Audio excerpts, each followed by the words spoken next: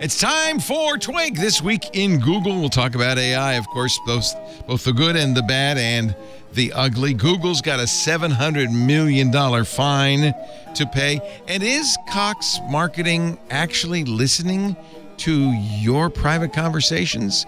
We'll answer that and a lot more coming up next on the last twig of 2023. Podcasts you love. from people you trust. This is Twit.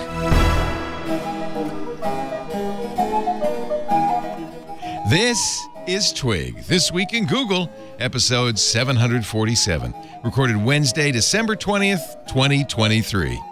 In an abundance of caution. This week in Google is brought to you by Secure My Email. Secure My Email provides easy encryption for your current personal and business email addresses. Setup only takes minutes. Start your free account or enjoy a 30-day free trial of a premium plan. No payment info required. And they have a special offer for Twit listeners. Visit securemyemail.com slash twit and use the code TWIT at checkout. And by our friends at IT Pro TV, now called ACI Learning. ACI's new cyber skills is training for everyone, not just the pros. Visit go.acilearning.com slash twit. As a twit listener, you can get up to 65% off an IT Pro Enterprise Solution Plan. Just complete the form. It's based on your team's size. Find out how much you can save at go.acilearning.com slash twit. It's time for Twig this week at Google, featuring the most attractive Festivus pole I think we've ever had. I mean, for an aluminum pole, it really does. Does it brings the whole house together? Uh, hello there, Paris Martineau. Merry Christmas. Hello there. Happy Leo. holidays. Is it okay to say Merry Christmas? I feel like I want to say that. I don't know why. You can say whatever you want. Happy honestly. Hanukkah, happy Merry Christmas, happy holidays. Doesn't matter to me. Happy Happy Festivus, Paul. Festivus. The uh, solstice is tomorrow, shortest uh, day of the year. So it's a good uh, it's a good uh, day to light a candle and curse the darkness or something. Happy I holidays. do that every day. Yes. it is far better to light a candle than to curse the darkness, said somebody once on a bumper sticker. And Mr. Jeff Jarvis, who celebrates his final hours as the director of the Town Tow-Knight Center for Entrepreneurial Journalism at the Craig Newmark Graduate School of Journalism at the City University of New York. Are we retiring the singers after And this boy, show? do I have grievances. Such um, grievances. Well, I'm I'm I'm basically retired, but I don't actually become emeritus until next August. That's just a technicality. You ain't working. You know, more classes is the bottom line, right? You don't have No to. more. Well, I might teach some in the in the executive program, but yeah, no more classes there. Do you, are you going to miss the students? I bet that was uh, nice to come in, see their fresh young faces, yeah, excited all and eager all. to become journalists. There were exceptions occasionally, but yes, all in all, yes. All Uh, right. Keeps you young, as they say. Well, Did I see, Jeff, that you had a going away party where all of your students came and told you how great you are? and Our they'll my, you? our engagement uh, uh, alums threw threw a little do for me. Yes. it was nice. oh, that's nice. Aw. Was that on uh, Shitter or There where were did you put pictures. There were pictures Uh, On, you go to uh, Facebook. I think on you'll find them. Facebook? Good lord, Um, I have to. I have to load Facebook. to- Definitely not just on Facebook, because I saw it somehow. Yeah, I put it on Twitter too, but you got to go back and back and back and back and back. Yeah, he's been tweeting. He's so active on the uh, on the Twitter, huh? Scrolling, scrolling, Scrolling, scrolling. Do you find You it? probably go to the media tab. Yeah, you got this down through there. It's four, four days ago. oh, I'm, I'm still at you ten have- hours. One is called one is called another tough farewell. Aw, You'll see that aw, if you go down. Aw. It'll down, amuse you. down, down. Only four days. Go to down. my Yeah, but you tweet what on average thirty times a No, day. no, I'm, I was doing it on Facebook. Go to Facebook. oh no, I'm looking at. Uh, here's one. oh, one celebrated Jeff Jarvis's academic legacy at CUNY. Oh, that's, my colleague nice. and former student Jasenia De, De Moya Correa. but keep Oh, on going. nice. Keep on okay, going. there's more. Okay. more. Yeah. Keep going. More, keep going. more, more. You just got into Facebook. It'll be over now. Later.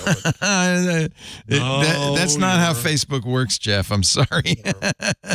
if you just, it'd be over by now. Yeah, Leo didn't want to click on Facebook because it would just show him all Yeah, those photos happen of women. Times. Look at all this stuff. Look at all that. Yeah. All right. You want to see my Facebook? Let's see if it's cleaned up. I have been very aggressively deleting accounts that show me. Oh, I'm not even logged in. Uh, that's that's how long it's been since I since I used this thing. All right. I still have it. I didn't kill the account. Enter your six-digit code.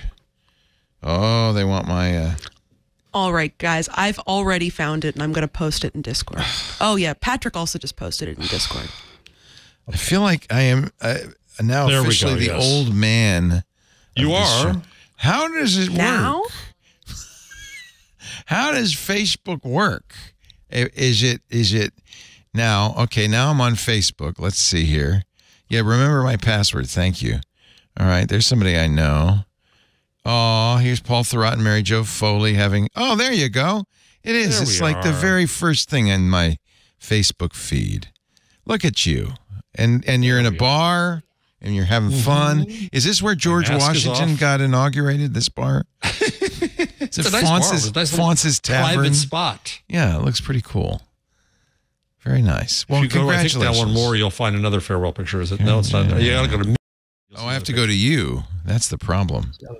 I have to go to you.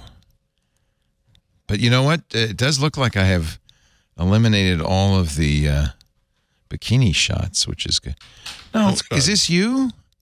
Let's be. Who are I- these I, people? I, I tweeted that. I, I Facebooked that. Oh God, I don't like this at all.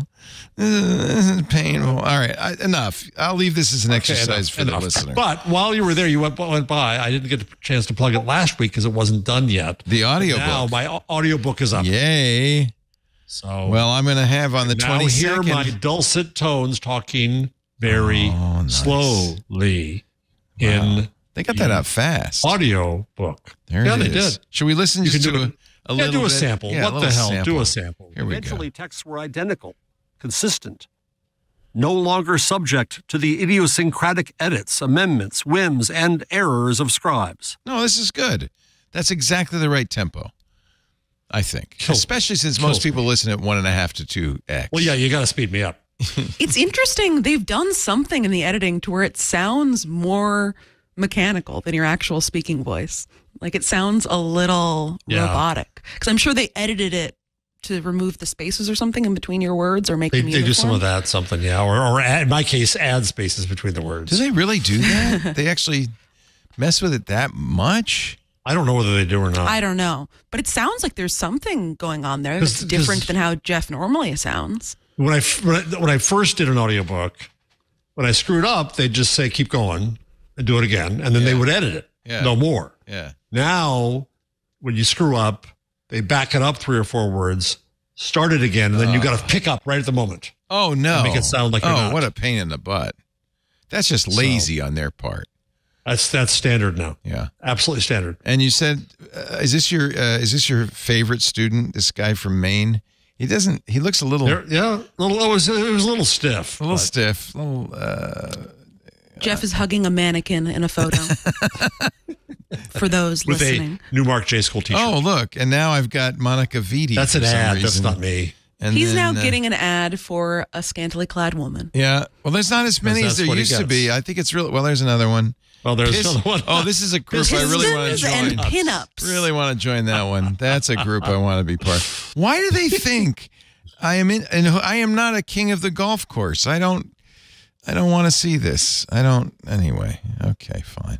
Most. I have to say, it's gotten. I've gotten rid of a Trumpet lovers, sponsored content for you. Are you a trumpet lover? Well, here it is. La fille aux cheveux.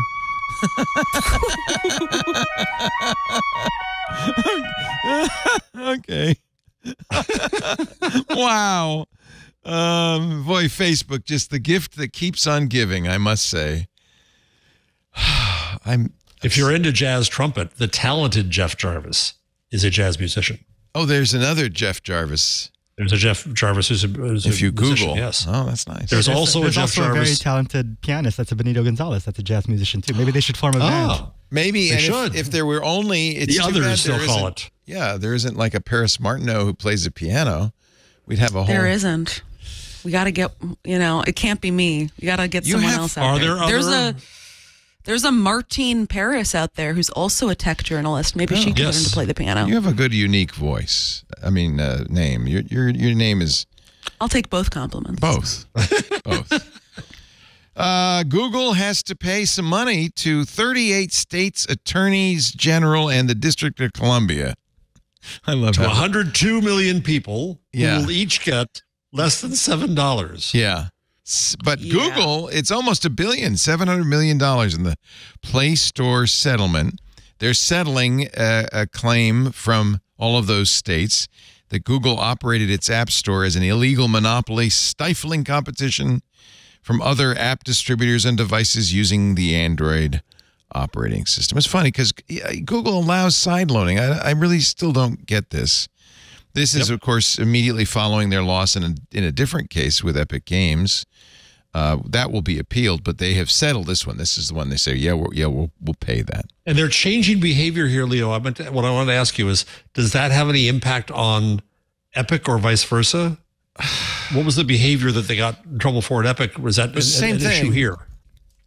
It's the same thing. They were a monopoly in the store, and the jury there agreed. Now, uh, under appeal, it goes to judges and justices who probably read the Wall Street Journal, but I don't know how much they're supposed to be influenced by that, you know? Uh, so uh, it's unknown whether that'll make a difference or not, just because they settled with the FTC. They, I'm sure, agreed to no wrongdoing. Never, folks, and agree to something wrongdoing. that's yeah, never do that. never, never. And I mean, in 2021, I think when this suit first came into existence, the South Korean government had also like passed a law forcing Google and Apple to allow app makers to charge customers directly. And they complied with that. And since then, Google has offered alternative billing options in South Korea. And it also preemptively introduced a pilot program in the US to uh, do something similar, give users a choice in how they're billed in the US. This is before the settlement even took place. So I really they've kind understand- of laid the groundwork Yeah, for this. I mean, I get it. I don't understand why Apple's so adamant about not. They're going to be forced to let other app stores on there, which is exact. You know, that I would agree is a bad idea because, you know, they could have bad software, pirate software, that kind of thing on there. Um, whereas if they would just open up, loosen up a little bit on the payments thing, maybe give people uh, a better deal. I don't know. I, you know, they do secret deals with Spotify and Amazon, uh, as has Google. I don't know. I it, this does not seem to be the number one crisis in our nation at the moment. Let's put it that way. No. you don't say. Yeah. So uh, speaking of which, the uh, the uh, folks at CMG, the Cox Marketing Group, kind of got caught out by uh, 404media.co. Maybe. Maybe. I'm, I'm curious what you guys think I on don't this one. Um, is this the big story you were working on, Paris? Nope. Nope.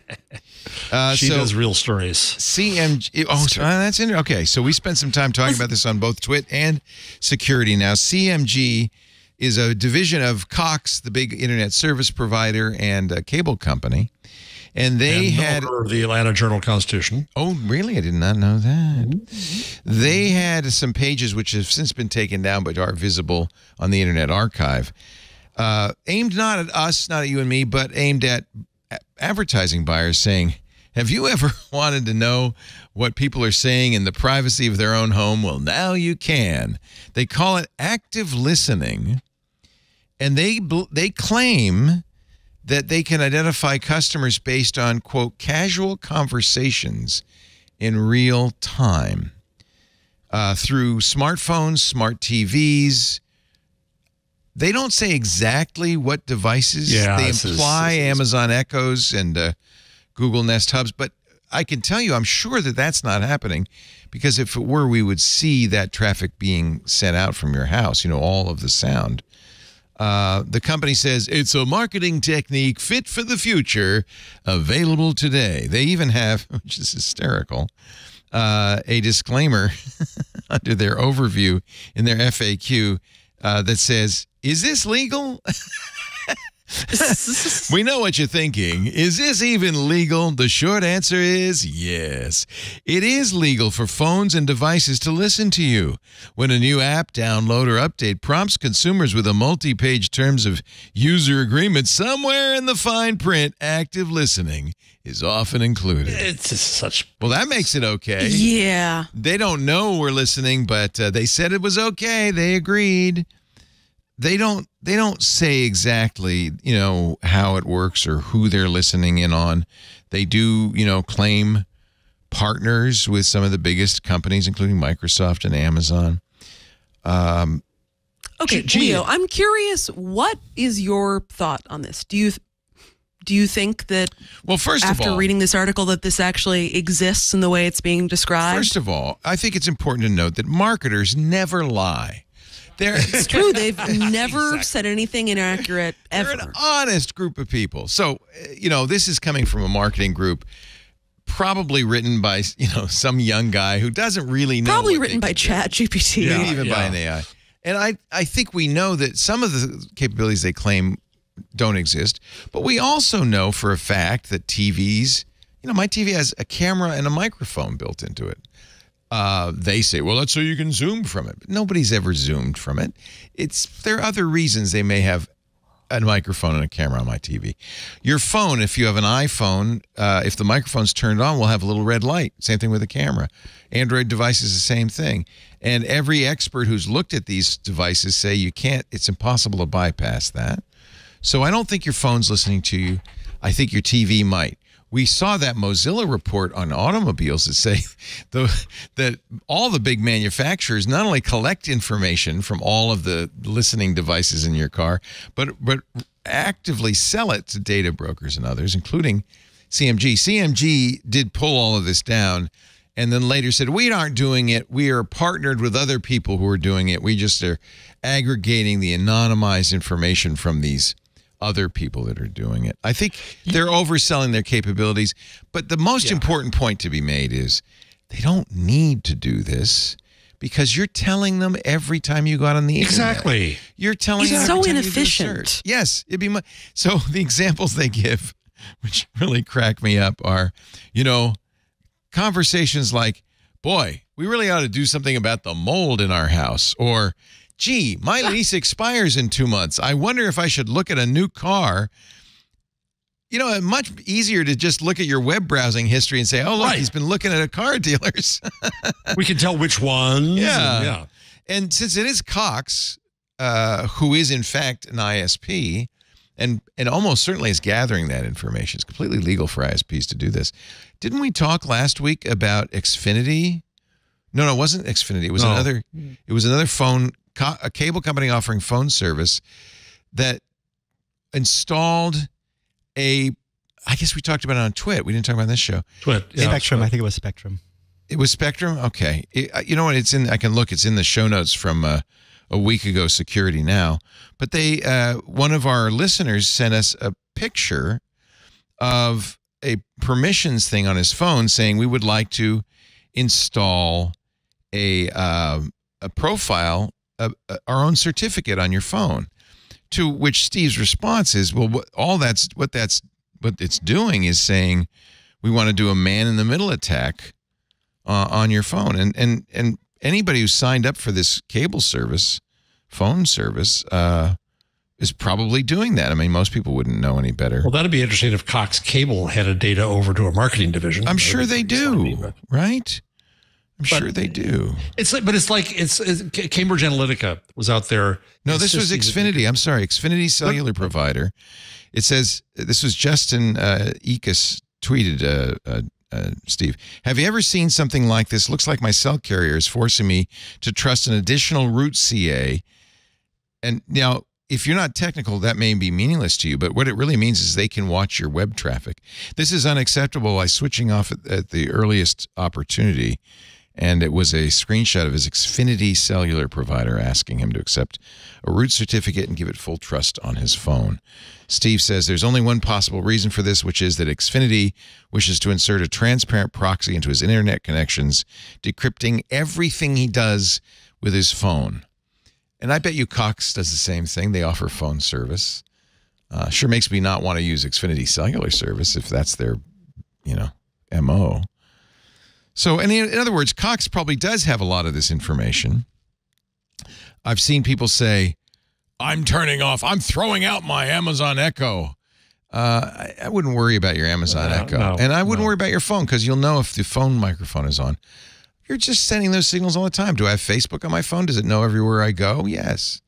They're So- trying to act like they're smart. They're, they, they, they, marketers are just all, all the time trying to say that they can do more than they can do. I was starting to say that Cambridge Analytica acted like they were so damn smart, and every researcher I know says it was complete BS from the beginning. They never could do what they insisted in their marketing material, and uh, you know they, they, they we, we we do magic with ads and find them when they want Yeah, to buy it's, stuff. it's sales is what they're doing. I think that probably the most realistic thing that is happening here, if we want to believe that any part of this is true, is that maybe they bought uh, a bunch of data from some third party broker that consists of ad keywords or something assigned to a user advertising ID that came from, I don't know, your off brand air conditioning unit that has voice control that you, you know, signed up, didn't really think anything of, clicked, yeah, I agree to the terms and conditions, and it was collecting that. It's some probably third party device in people's homes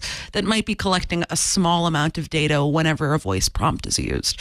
It doesn't, it's not even. Even in perhaps the most best case scenario for this company's claims, it's going to be a fraction of what they're describing. So, should we worry? nah, No. We got more things to worry about. Lots more things. Yeah. worry about. A lot of other things I to do worry like about. this particular paragraph. Don't leave money on the table. Claim your territory now. Our technology provides a process that makes it possible to know exactly when someone is in the market for your services in real time, giving you a significant advantage over your competitors. So it's geolocated. Territories are available in 10 to 20 mile radiuses. so you click this button and you will claim your territory now. Yeah, it's just Such BS. BS. It's a sales pitch. They're overstating their claims not that people shouldn't worry about their privacy, but you're giving that information up all the time in a variety of ways, not just. I don't know why people are so worried about the microphone listening to them. I mean, I Because I, guess think it is the creepy. most tangible yeah, uh, version of a privacy invasion that Right. someone could think of. It is when you're thinking of privacy. Yeah.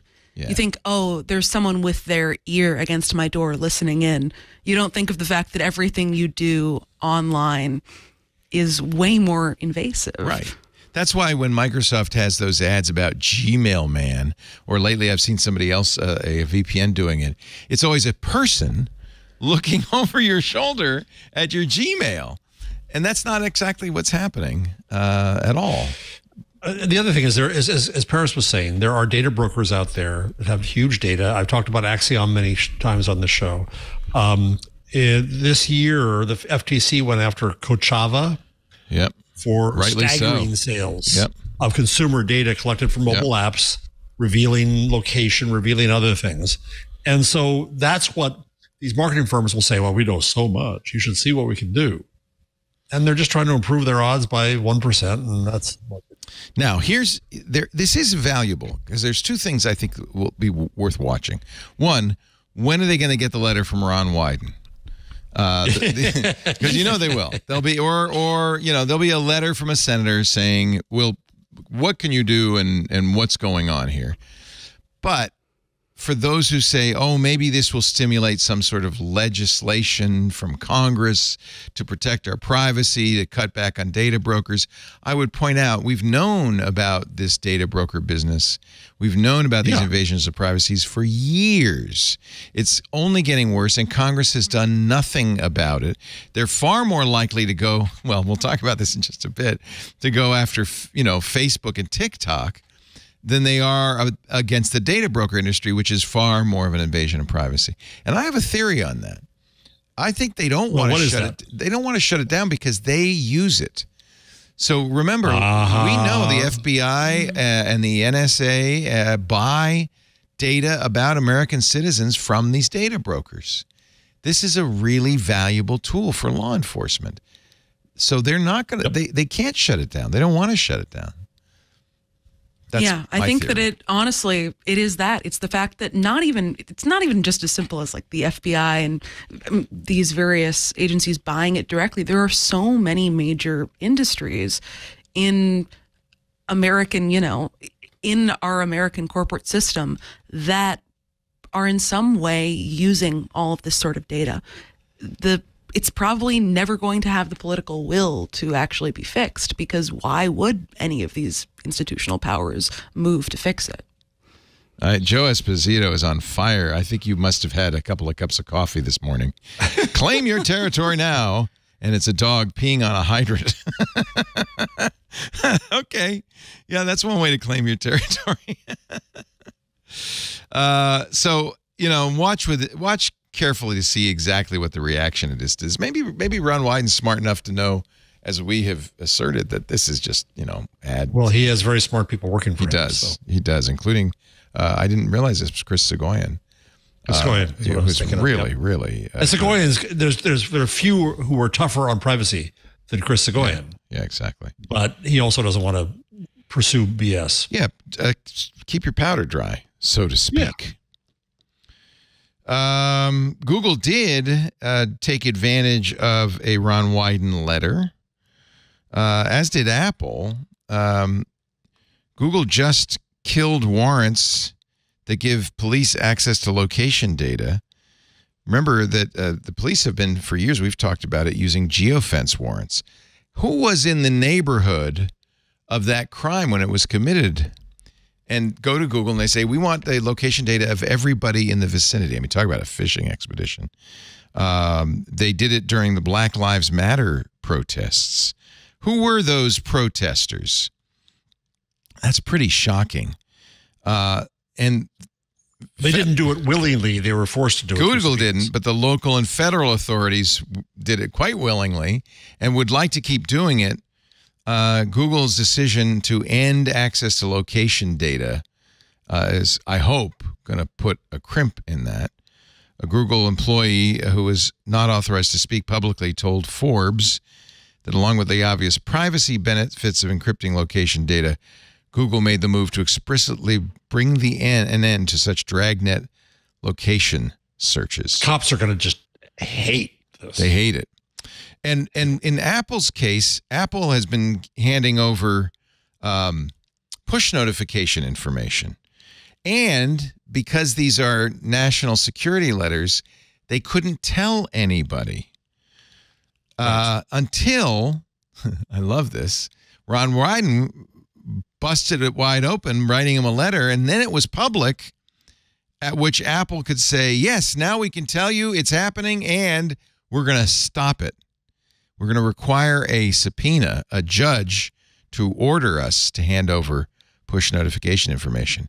But in effect, they were admitting they'd been doing it all along, and they couldn't tell anybody until Ron Wyden Why couldn't they blew- tell anyone? because in uh, the case of national security letters, one of the things is we want this information, and and you may not tell anybody that we're getting it. And the reason, especially the object of the yeah, that's the thinking is well, you don't want Tony Soprano to know that you've got a wiretap on him. Um, but that's been extended to the point where we, we don't want any of these protesters to know we know exactly who they are. So uh, Apple has long, I think, chafed under this, as has Google with these uh, geofence warrants. And the fact that now they now it came out in public because Ron Wyden wrote a letter, they were able to say, okay, we're changing our policy. They didn't announce it, by the way, but they but people noticed they changed their uh, legalese to say we will not hand this data over without a warrant, which is good. So Yeah. both Apple and Google are on the right side of the law, I think, in this case. Uh, some might say, well, they're you know they're coddling criminals, but I would say uh, if if you get you know if you give law enforcement all the power it wants to fight crime, we're going to be sucked in along with that dragnet, and uh, many innocent people will suffer. And it just all you need is is one one authoritarian to get to get into Congress or or become the president, and suddenly those powers become really scary when the government's doing it. Yeah, honestly, it doesn't even take that for it to be very scary. Right. You could have your local law enforcement agency just decide to Oh yeah, go off, right. and suddenly you're in a very bad place. I'm much more worried about uh, that than I am TikTok, knowing that I like girls in bikinis or whatever it is they think I like. Uh, that's that's that's kind of de minimis compared to a government, an organization that has uh, guns and the right to use them. Yeah, yeah, and and I always say I've said it since I wrote a book on the topic.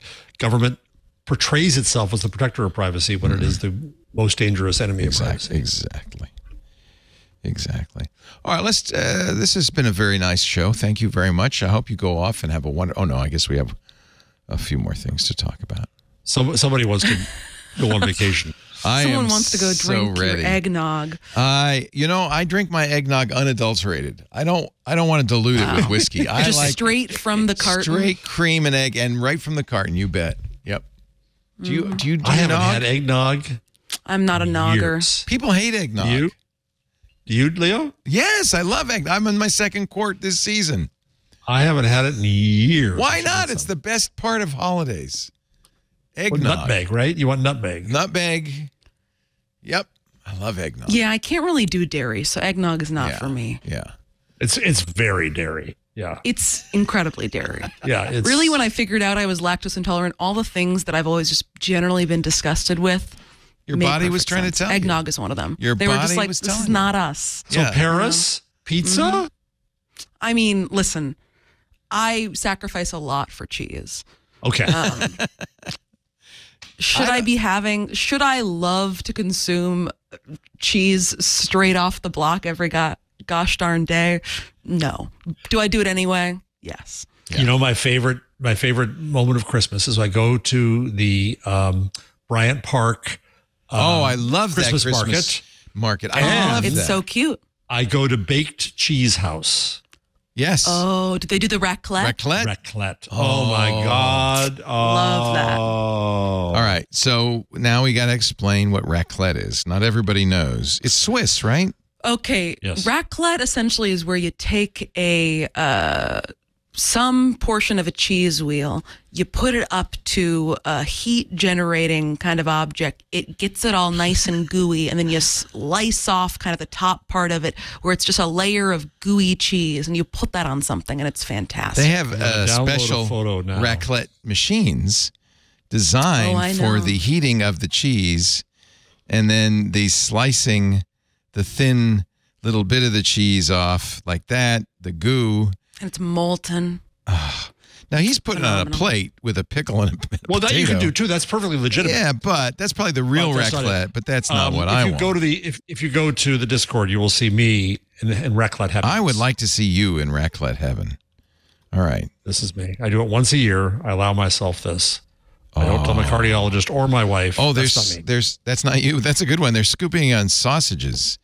That's a good one. Oh, where is uh, where is where is you I, on I in put it in there. It shouldn't be in there. It's there. No, no. In the Discord? Well, there it is. There it is. Now it is. Oh, it takes a while. At the Baked Cheese Haus. Now that looks like a baguette with a with raclette cheese. With a few cornichon, oh, a little ham if you like, ham. Nice. uh, mustard, and then they always do the extra wump of cheese on the top to make it drip down. Oh, it is just. Uh, a lactose intolerant paradise. I think I think Paris even seeing that picture is having a reaction. Listen, I'll I'll give it all up for raclette. I'm literally searching through my Instagram trying to find a place. Just a go to Bryant of- Park right now. There is Right now. There. I mean, I will. Yeah. It's the There most is a wonderful French restaurant not too far from my uh, apartment, Cafe Paulette. If anyone likes Oh. Fort Greene, Brooklyn, uh, they often during the winter. I guess I haven't seen if it's back. we'll have raclette. And one time I was there with two friends. We were all just going to get some raclette. They were like, "Oh, we've actually got a raclette machine." They end up bringing into this tiny French bistro a giant raclette machine, plop it on our table, and bring out a whole half cheese wheel and leave it with us. And they're like, "Go nuts." And we just had oh. plates and plates of potatoes, potatoes and, and onions and things, too? Yeah, and all like little meats. And my God, You I think just we took part of the of cheese there. wheel home. Yeah. basically. Yeah. That's just disgusting. And you don't think eggnog is good? Nope. Uh, all right. I'm going to cafe. I have some. I have a date in New York, Cafe Paulette, Yeah. Bryant Park Christmas you do. Fair, Yep. Yep. and uh, Oops, all cheese. It is a special cheese, right? I mean, it's not just any old cheese. It's a cheese designed for this, for rec-letting, I believe. Probably. Just It in is, case you want to yeah. just kind of take your Well, okay, your, well, now we gotta ask, your wheel what of kind of- parmesan home and scrape it. Used for raclette. No, it's okay. You don't have to do the search. Um, Swiss cheese or Gruyere. Gruyere, is Gruyere, good. sure, Gruyere, Gruyere would be It's good. Gruyere. Uh, I'm a yeah. Okay, good. Sounds delicious. Wonderful. I assume Fontina would also work well. Fontina. Any any me- low melting point che- uh, cheese would be good.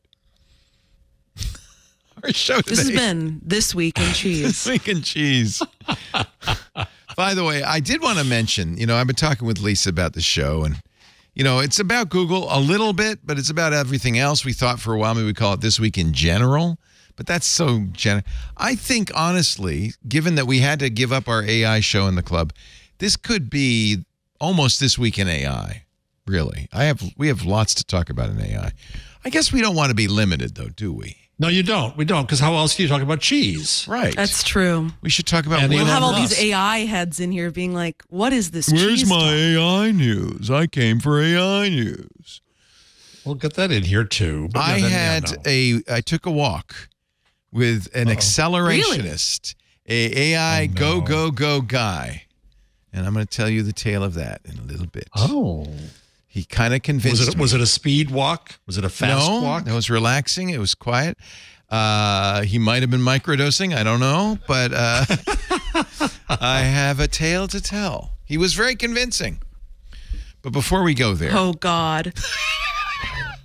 I've gone basically from AI skeptic to AI like go go go. It's time for humans to give it into the AI the next he said it's like first contact. We are it's an alien Oh, species jeez. we are giving birth to. Oh no. Leo, we can't be back on this. We had such a good week last week with the whole so Gemini Leo. thing. I I believe. I think there's got to be a point where you stop describing yourself as I'm an AI skeptic, but not and you just be like I am an AI believer. No, believer. not I eh, this is the point right here. the Church of TESCREAL. All right. Yeah. you know, it's, it's you're, you're kind of minimizing it when you say TESCREAL. It's so much more. It is the Oh, beginning jeez. of the next era in humanity, in humankind, bigger than the internet, bigger than the personal computer revolution. This is this is. He said, and I love this. He said it's going to get really weird in the next ten years. Okay. Wow. Great prediction. wow, what a dude. prediction. Huge. Futurist that oh, is. you didn't say that like for attribution, like, but it. Well, it, I can It was see probably why, the most he could get a- out. meanwhile, he was dealing with all of the acid visualizations. You know. okay, I will say I'll give you exactly one little bit, which is today for the first time ever, I used ChatGPT for something. Just in my day to day life, I was researching a topic, Yes. and I needed a way to describe it succinctly, and I kept getting confused. So I had ChatGPT summarize me, summarize it for me, and a number of. I asked like summarize it in plain English, two sentences, two sentences, but plain English, and it worked quite well actually. Did you see the Semafor reporter who has uh, has created a chat GPT GPT with her articles in there and That's Gina Chua is the like That- top editorial. That person, really Semafor. tracks for Semafor. I mean, it would also track for Axios. Oh, oh, I love it. People, I love everyone who works at Semafor. I'm not. I'm not hating, but also, come on. G- Gina is a brilliant journalist, uh, a former top editor at Reuters, uh, and um, unlike others who just are talking about this stuff, Gina sat down and created things that might be useful for journalists. yeah. Basically, what we've seen is like, cool. one is like Notebook LM. It's can I query a set of data? She's That's so useful. that's so last week. You saw my I've been using because I've been doing the uh, Advent Code. I've using my Common Lisp expert system. It's phenomenal. I, I don't have it write the code necessarily, but it's really it's like having an a, a Lisp expert sitting next to me, and I could say, "Well, how do I do that?" And it tells you. Then you ask it to go for a walk and it can't, and you're so disappointed. I don't need it to go for a walk. I can go for a walk all by myself. Um, with an accelerationist. Well, I walked with him. He walked too. He had two legs. He did have two heads, but that we'll talk about that. Did in a you bit. look down at the sand and you saw only one pair of footprints? Yes. And you realized Yes. he was carrying you? I saw the whole world in a grain of sand. It was a beautiful thing.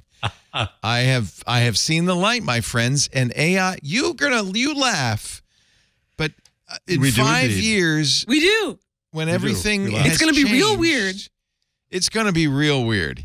He said there's not gonna be any money in in a couple of decades. Money. Oh, what that, oh God, he's a. Oh my God, Leo. Are you serious? Are you no, not crypto. No, Oh, no, of course it's worse is. than that. It's UBI. It's like there's going to be so much surplus Oh, that. Oh, Jesus. that we don't need money. Everybody will have whatever they need. And So is Sam short or tall? who's Sam? Altman. Oh no, I wasn't with Sam. Honestly, you could have been referring to a different to Bankman Fried, and that would have been like, yeah. That's I wasn't. too, It was. It, I, I'm going to preserve his anonymity, Mutual. but he works at an AI company. He's worked at Microsoft and Google. He knows all of the uh, all of the players, and you know, obviously, there's some disagreement in the world of AI about what this all means. But he and I'm not. Look, I you know, I completely acknowledge that this is a kooky kind of point of view, but I it's possible. He sa- he says we're seeing emergent already seeing emergent properties, emergent behaviors in AI, and this Leo, is do you really think that someone who has a history of working for the largest tech companies in existence, Well, he left because is he- working in a industry that is so saturated with venture capital that it is like the only bright He's a spot in VC. a Okay. true. He, I'll admit. Okay, do you do you truly think that a venture capitalist is working to bring about a system where capital ceases to exist? yes, yes, which is this is why I uh, I respect him because he's talking about a- world that is going to be very, from his point of view, very alien, not what he has been working his whole life for. But he, you know, he he's working now at the company that he started uh, and was on the board of, and is working uh, at, at that company. But I, I'm not going to defend him. I, I, I just he I'm not and I'm not even saying that I am now seen the light, but what he but what he talked about is very credible from a person who's actually on the on the ground with this is very credible. And I do think it's there is a possibility. Is it one in a thousand? Is it one in a hundred? Is it one in ten? I don't know. But there is a possibility that we're going to see a massive jump in the capabilities of AI as it starts to self-generate over the next few years that will make everything we've been talking about kind of moot. That the big big tech is not going to be where it's happening anymore.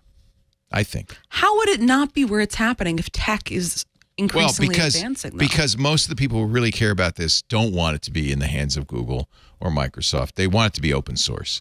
And uh, believe me, I want it to be open source. You should want it to be open source. You don't want Microsoft to own this. Absolutely. Absolutely. That, that much I agree with. Yeah, yeah, Yeah. No, you, you it should be open source. Uh, that's where all the advan By the way, that's where it's happening fast. Midjourney's open source. Stable Diffusion's open source. Actually, there's some stories there. We'll get to that. I wanted to take a break about ten minutes ago, but you got me started. You see, No, no, no, no, no. you pushed did my it. buttons. We were, we were, we, we were ending cheese. You had a nice kind and of. then you decided to talk this about your walk with Jason Calacanis. no, it no, it wasn't Jason. Jason, actually, I don't think he is a AI. Um, I think he's more of an Oh, who AI knows doomer. what he is? because he's Elon's, you know, pal. He- They're the AI doomers. They're the ones who say we've got to defend humanity against AI. This is Andreessen and company. This isn't, this, isn't this the guy who just released Grok? Yeah, Grok, by the way, which is a very unimpressive piece of fluffery, is not what I'm talking about. I don't think we want AI to do dad jokes. Can I just say?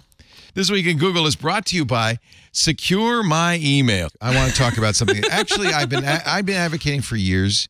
Uh, email. When you use email, you're sending a postcard. Basically, anybody along the way can read it. it, it that's why it's so important to use email encryption. But it's unfortunately up to now been incredibly difficult. Along comes something called Secure My Email. It's an email encryption service that's actually easy to use. It has the security and privacy you require using strong encryption, OpenPGP, ChaCha20, and other strong ciphers. But it makes it easy. It hides the ugly details away.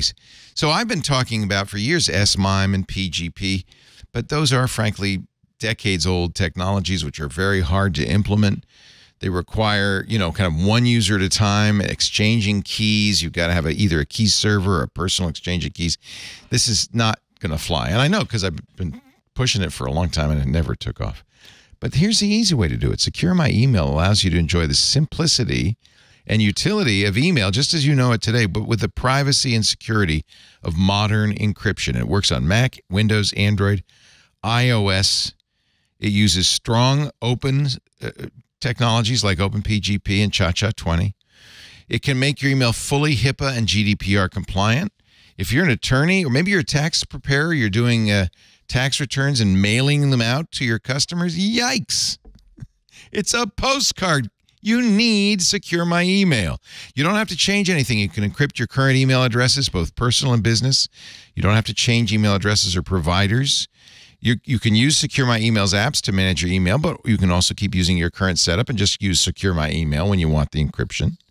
It's very easy to set up and use. You are not using a different server. This is the key. You're just using an updated client that hides all the complicated encryptions. Your recipients, and this is really important, do not have to use Secure My Email. They don't have to register. They don't need to know passwords. Even uh, companies like Proton Mail require out of band passwords for non user recipients, not Secure My Email. When recipients respond, their email and attachments to you are encrypted through Secure My Email systems.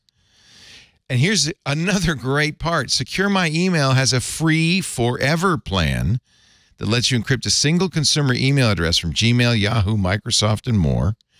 Instant download and activation. You don't have to give them any payment info. You don't have to register. They don't have to call you to verify who you are. For paid plans, the pricing is very affordable $3.99 a month, $29.99 a year per user.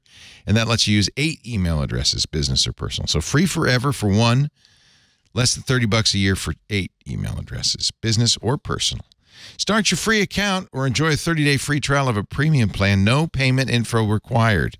It's certainly worth taking a look. And they've got an extra special offer, which you can see on the screen, but I'm not supposed to mention for Twit listeners. Visit Secure My, it's a secret. Visit securemyemail.com slash twit. Use the code twit at checkout. Securemyemail.com slash twit. The offer code is T-W-I-T. Finally, I can tell people encrypt without having to explain the complicated, ridiculous steps you'd have to go through to do it. So it's just simple. Securemyemail.com slash twit. Offer code twit. We thank them so much for their support of this week in Leo's AI revelation. Cultishness. Cult, the cult of AI. You're gonna See, be you're Leo, gonna I be do talking think that this podcast, this podcast is great because every week we get to see you descend further and further into the cult. into madness. yeah, I, I mean, I literally Paris keeps trying to pull you back. six weeks ago, I was going, this stuff is spicy autocorrect. It's a parlor trick. It's nonsense. But you have to admit, it has been getting better and better and better in most impressive ways and very interesting. It still doesn't know a single thing about facts. It doesn't believe anything. It doesn't know anything. It is a prediction machine. Full stop. but if you And want it to be a human, it's not. because it sounds like us.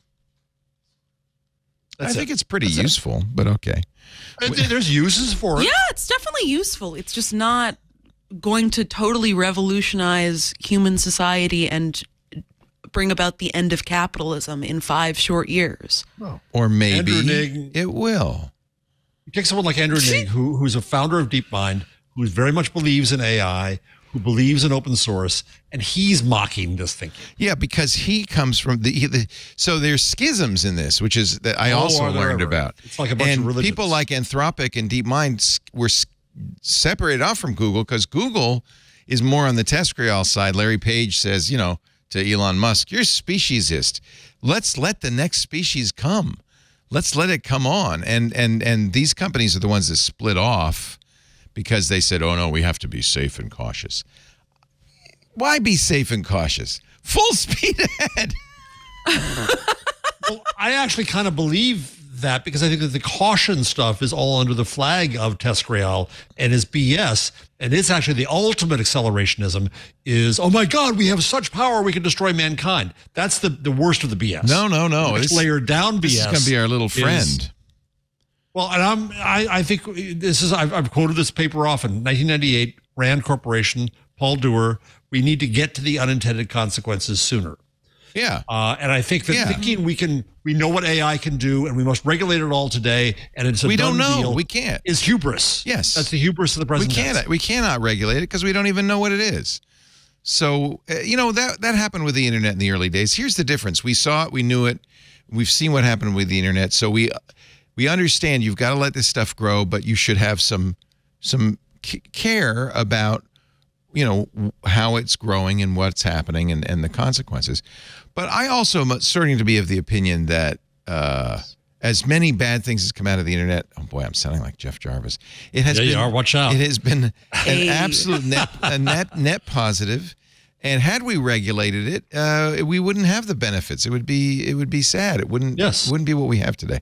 Now this is an example of ai yeah earlier today uh, Mary Jo Foley, uh, our long lost uh, host from Windows Weekly, joined Paul and Richard on Windows Weekly, and we we were talking about Microsoft Bing has announced some extensions, including one from a company called Suno S U N O dot AI that lets you write songs. And I thought, well, let's write a song for Mary Jo Foley. Welcoming her back for the holidays, and and I just thought I'd play it for you and get your opin- opinion. This is uh, called Christmas with you. It, the the AI wrote the entire thing. I the only thing I did is a prompt saying, you know, let's let's welcome Mary Jo Foley back. I think I said do this in a hip hop style like Jay Z, which it failed at miserably. But here here it is. Snow falling down in this merry little town. I'm sipping hot cocoa, waiting for you to come around. Every year I've missed your smile, your laughter so sweet. That this Christmas, Mary joyfully you'll be back on our street. What? Drivel. Honestly, it's f- just fine. It's okay. It's Hallmark. Christmas with you, the happiest I've been. Merry, joyfully welcome home. Let the sleigh bells This does sound like perhaps the sort of intro song that you'd get uh, at a Hallmark m- Yeah. Lifetime like movie. Yeah. Yeah. It sounds no worse than the 8 million other is not a Christmas songs you're being subjected to on the radio this week. Uh, I don't know if that's true. You think but it's it, it worse doesn't than the sound, barking, barking dogs? I, I don't know what that is. Oh, what? Uh oh. Oh, you had to say that, Paris. You had to say that. Now I you're had going to to get say it. educated. Uh, I, I I'm worked, just trying to make sure that the show Haven't gets you taken down for learned? I copyright. worked for violation. many- This feels like a copyright strike. it's definitely a copyright strike, so don't play this out loud.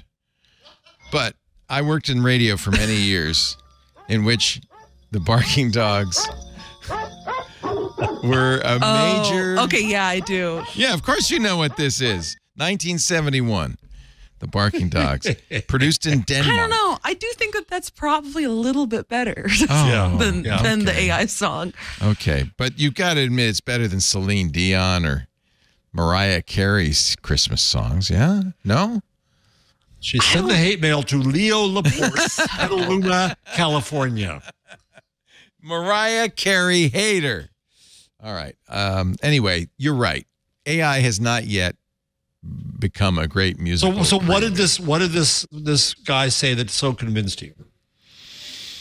Um, I don't know if he convinced me, but I think he gave me food for thought. How about that? And that I'm no longer completely uh, skeptical about the, the potential for AI to become something much more than than the mediocrity that we see so far.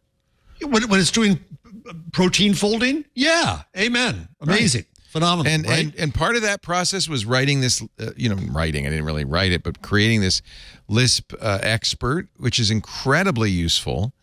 Uh, i made an emacs expert. Similarly i Yeah. really see the potential for this. Uh, you know one of the things i'm, I'm trying to do is there is a open source pro, uh, project called GPT4All that lets you run this stuff on your own computer using open source models from companies like Microsoft and Facebook and Google. Uh, and it's really interesting because this is only running locally.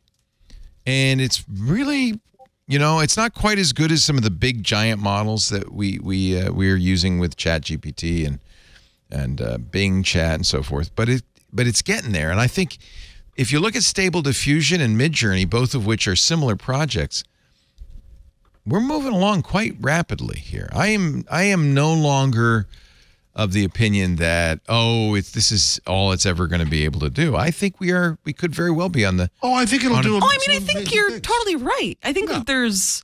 I don't think that Jeff and I are saying, "Oh, AI is just a parlor trick. It's never going to be anything other than mediocre."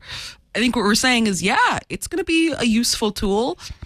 Do you think it's po- do you think it's possible that it will uh, somehow emerge as an intelligence?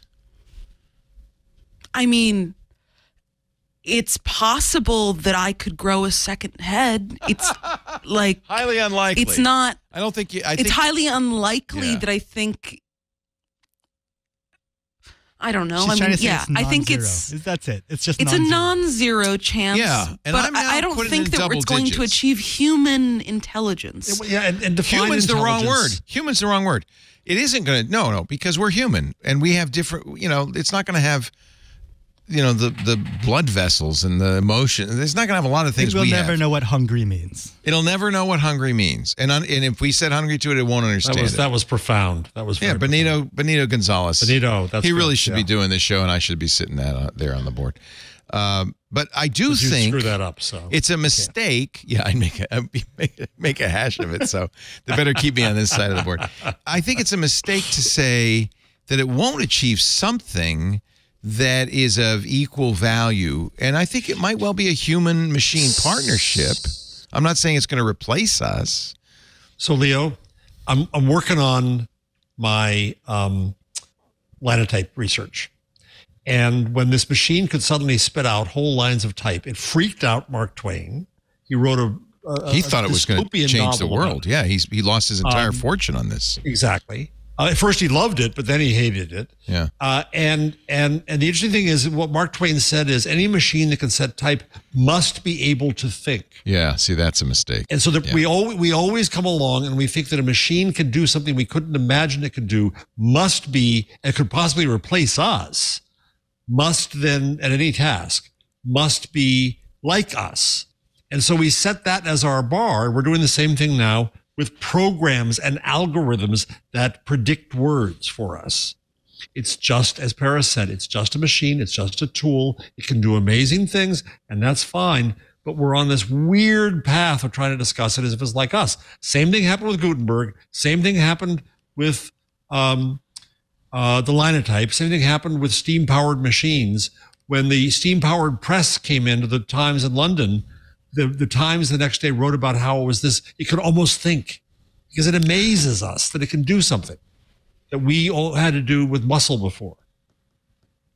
So yeah, it'll do amazing things. It will do great things. But I just don't think that the, the scale is that it's going to replace us. It's going to destroy mankind. It's going to be beyond anything we can imagine. No, we're going to make them. Well, I'll give you an example. We'll imagine it. Somebody brought this up on one of our other shows. Maybe it was MacBreak Weekly. We're the notion that Elon has that we're going to colonize Mars is absurd. Yes. Uh, our physical bodies just don't do well outside the planet. But an AI working on our behalf, we could easily become an extra Oh, planet no, you're species with AI. long-termism here. But Oh, wait a minute. No, no, no, no. It's not long long-termism I'm just saying we're not. I don't think we're going to explore the stars. I just don't think so. But but AI might because it doesn't have a body. It doesn't have to worry about long term effects of microgravity. It doesn't have to I think to. you're humanizing AI in a way that Exactly. is No, I'm not. particularly relevant here. I think you're human.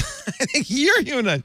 I think feel like AI will colonize. AI won't do any. AI could be a. It's a system that is going to be maybe powering a robot we use to explore a Oh, place. now we're getting down to it's it. not going to be doing. Now it. we're getting down to it, and I think this is the thing that bothers humans a lot: is the notion that AI could have free will. That really bothers people a lot. They and I think this is an interesting leap to make. Could AI have its own free will? We don't know if people have their own free will, Leo. Well, we don't. Yeah, I don't So even what know. makes you think AI could? Yeah. No, but that doesn't mean AI Thank you, can't. Benito. Maybe AI could and we can't. Um, I, honestly, this is an interesting. This is the uh, kind of a fundamental question. If AI explores space, is it doing it as remote control for us, or is it doing it on its own? That's a really interesting question. Does a self-driving car have free will? It seems that way to us because we can't understand. It's like David Weinberger in his book said there's no such thing as an accident, only things we can't explain. Yeah. Anyway, I'm just I, I don't want to argue in favor of or against uh, this notion. I just I want to say that I have my my eyes have been opened. The scales have fallen off my eyes. And I think it's I think there's more here than meets the eye. And some of these fundamental questions like can an AI have free it, it, AGI is deceptive because it's because it's kind of saying, well, is it like us? Does it think like us? It will never think like us. I, I don't. I'm not worried about that. In fact, it's a mistake to Right. try to make I, AI duplicate humans. That's that's not what we're talking about. We're. I think it's going to be very different. That's how what he means. I think when he says it's going to get weird, is that we are going to have a relationship with a non-human intelligence, and that is going to be very weird, and we're not going to like it. That's all I'm saying. And it may not happen. It, it- it- you know, we may go. We may be talking about the latest features of the iPhone 17 in two years. If that's the case, I'm just going to quit now. But I, but I think we may have more to talk about over the next few years, and it might be quite surprising. By the way, the rich kids now are worried about getting living forever. Of course. This is just yeah. Of course. Uh, this is from Bloomberg. Silicon Valley's quest to live forever has, what a surprise, many warring factions. Tech titans, venture capitalists, crypto enthusiasts, and AI researchers have turned longevity They're research into all something on Calacanis's podcast. between the hottest science and a tragic comedy.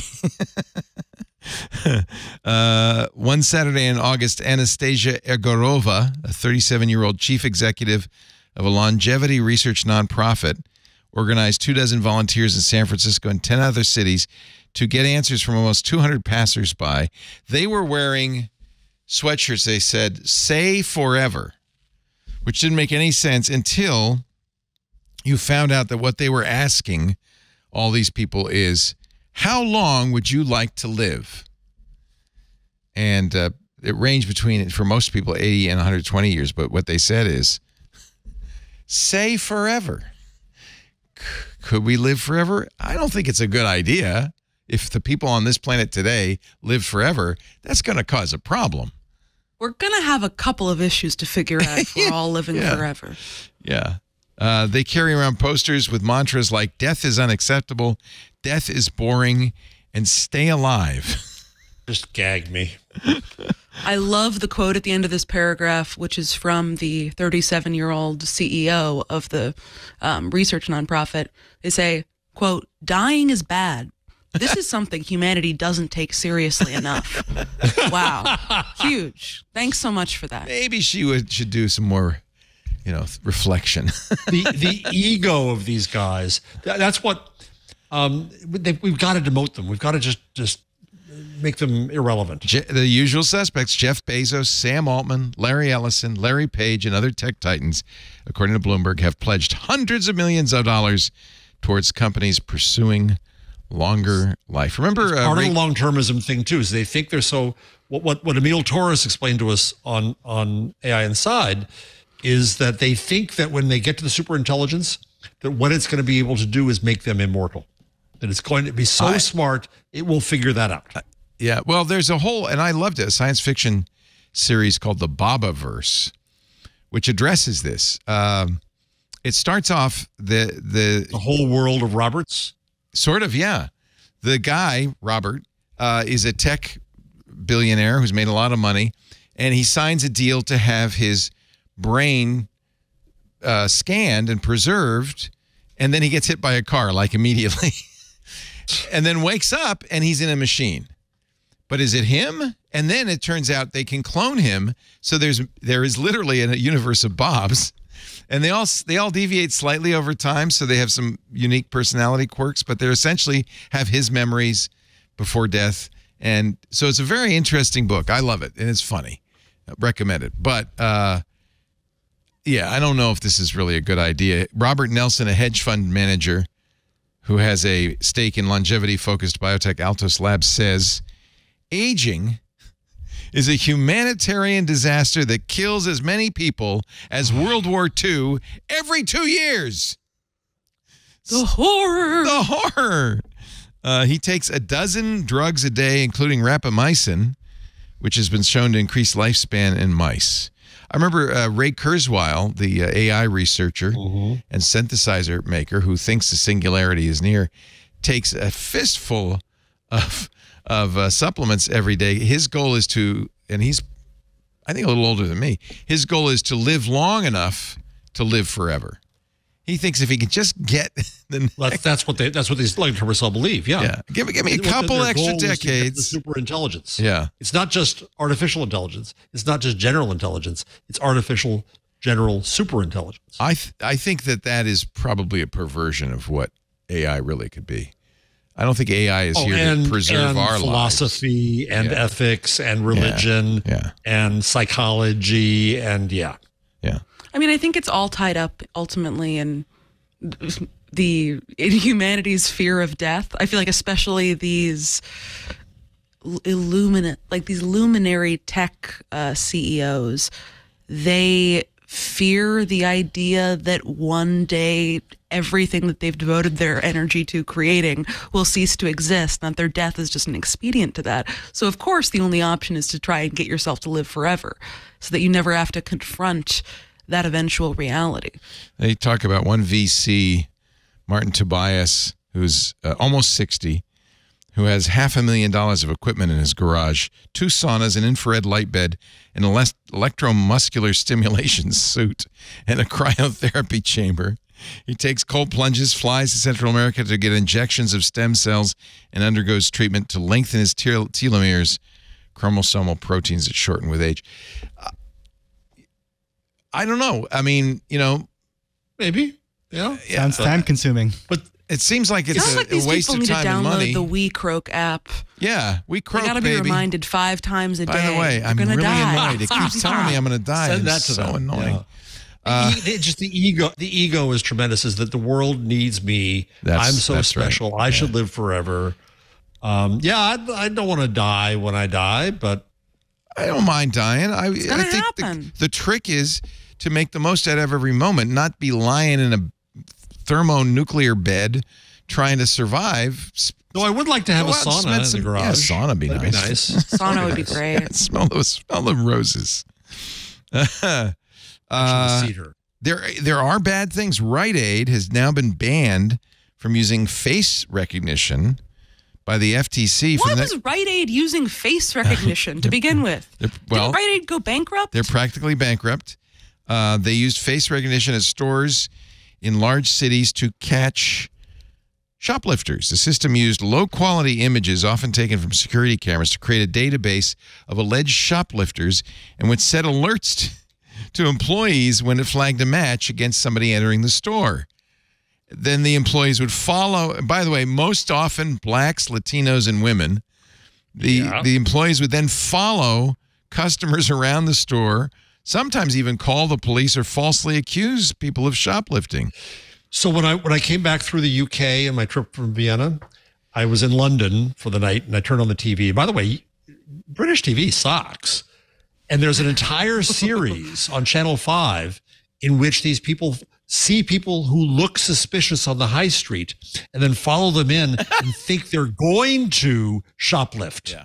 And like in one case, they said, "Well, this guy, I'm sure he's going to do it." da, da, da." Oh no! Obviously, he knew we were there, so he decided to turn the corner. Is this a and he- reality show? Yes, it is. It is. It is. It is noxious. We can It is thank the. UK for some of the worst reality shows. They all came from Oh the UK. my lord! But we also they have shows like QI with Stephen Fry. I mean, they have some good they also shows. have Love Island, which is Love the best reality show that's ever existed. And I always forget the name of it. That one where they give you crazy tasks and you have to go out and Taskmaster. Taskmaster. Oh, That's a that great show. Taskmaster is phenomenal. I really recommend it. And uh, so there, that's on uh, Channel Four. The uh, UK. Speaking of the uh, Emerald Isle, no, what is it? The uh, what is the UK? the that that uh, that little guy up there above Europe. our, that island nation above Europe, Formerly Europe. former European, says uh, the UK Supreme Court says AI cannot invent things, can't hold a patent. This I think I'm so comports sorry, with what Leo. U.S. Was courts have this a- said. a well, big- Yes. no, a big it doesn't want hurt- patents. It doesn't care about us. It doesn't care about our silly little government, our U.S. Patent and Trademark Organization. Those are picayune concerns to the AI. In the long term, Leo. In the long In the term. short you know, term, it, it they don't cares matter. about so many things. It doesn't care about nothing. the only problem with AI is it would be like if you just took just the intellect, just the voice in our heads out of us. That's it. And no heart, Wait, no intellect, soul. you know, a synonym for that, intelligence. Yeah. Huh. Yeah. But I mean, if you didn't have intelligence moderated by your feelings, your heart, your your empathy, all the things that make you a human, it would just be a calculator, right? I think it would probably just be, uh, yeah, uh, stimuli processing. Yeah. And that's what AI is going to be. We have to give it the heart, my friends. We have to tell it what it's like to be hungry. That's our job. I don't know. Anyway, UK Every night, Leo goes to his GPTs and describes the hunger he feels. Let me tell you how I feel. My my stomach is all knotted up with the lack of food. Actually, I've never known hunger. I'm sad. to look at me. Do I look like I've ever been hungry? A U.S. computer scientist on Wednesday lost his bid to register patents over inventions created by his artificial intelligence system. Uh, the he he created a create quote creativity machine called DABUS. Oh, Uh, the uh, UK's intellectual property office said no, no, you got to be a human or a company rather than a machine. So he appealed to the Supreme Court, which on uh, Wednesday this morning unanimously rejected his appeal. Uh, as under UK patent law, an inventor quote must be a natural person, not an unnatural person. So, so what are the fancy ways this will be used to get around the law? I wonder. Well, the bad thing about this is it kind of encourages people to hide their inventions, right? The whole point of patent law Yes. is that when you invent something, yes, you should be able to capitalize on it for a limited number of years, but then it should become public. It should everybody should be able to do it. So if you invent a rubber tire, sure, for 60 years or whatever the term is, you can profit from it. No one else can make one. But after that, we can all make them because that's good for society. So if you don't allow patents, I think that just incents the inventors to just Well- keep it to themselves. I think this is a different situation. This judgment doesn't stop a person from using an AI to devise an invention. It just stops listing the AI tool as the inventor.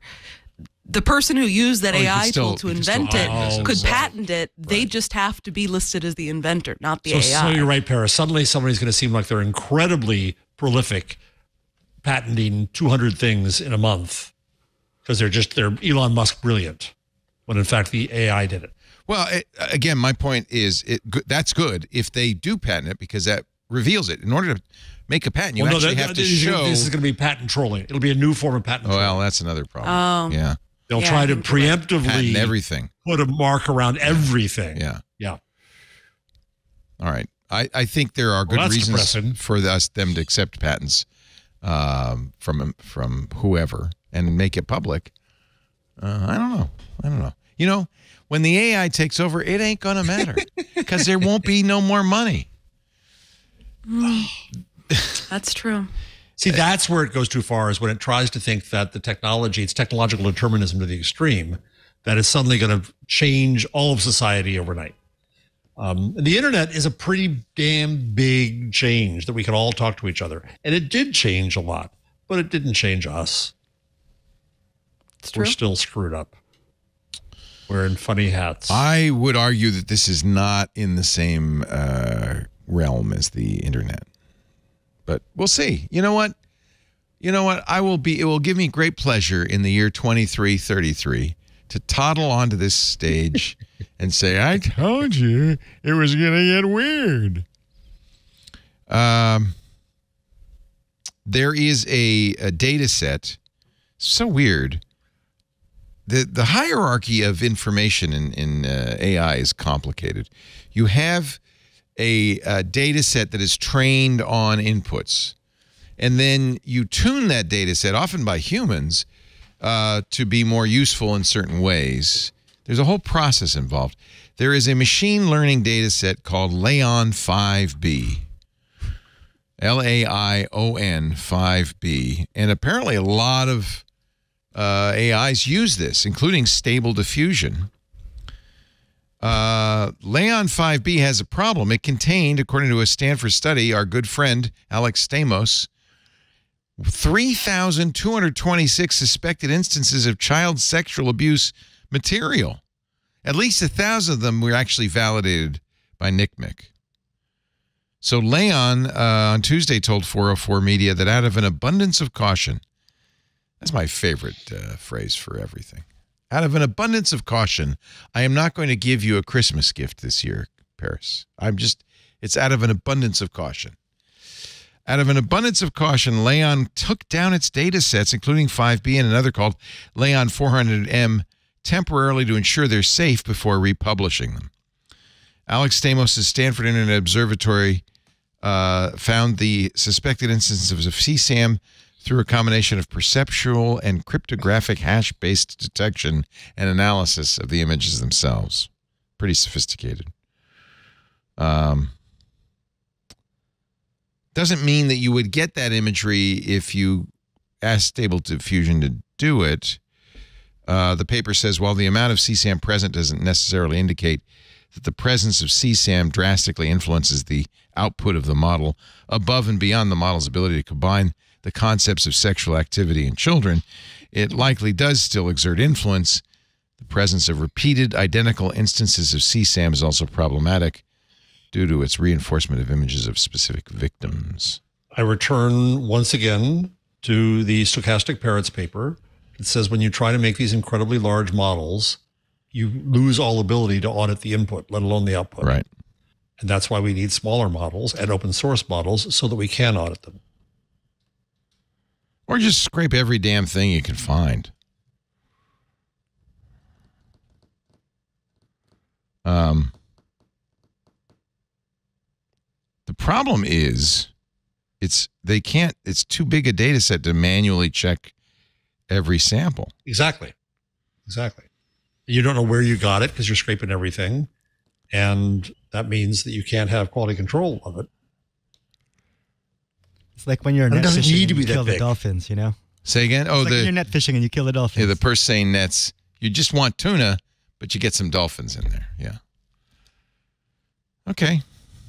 It's also it's uh, this is a show entirely today about male ego, because that's part of what the Margaret Mitchell and and Emily Bender talked about too, and Timnit Gebru with the, these large models is they just want it to be BSD. They want it to be big for the sake of big. Mine's bigger than yours, and they say that's just absurd. It makes it worse. It's not good, but they want size.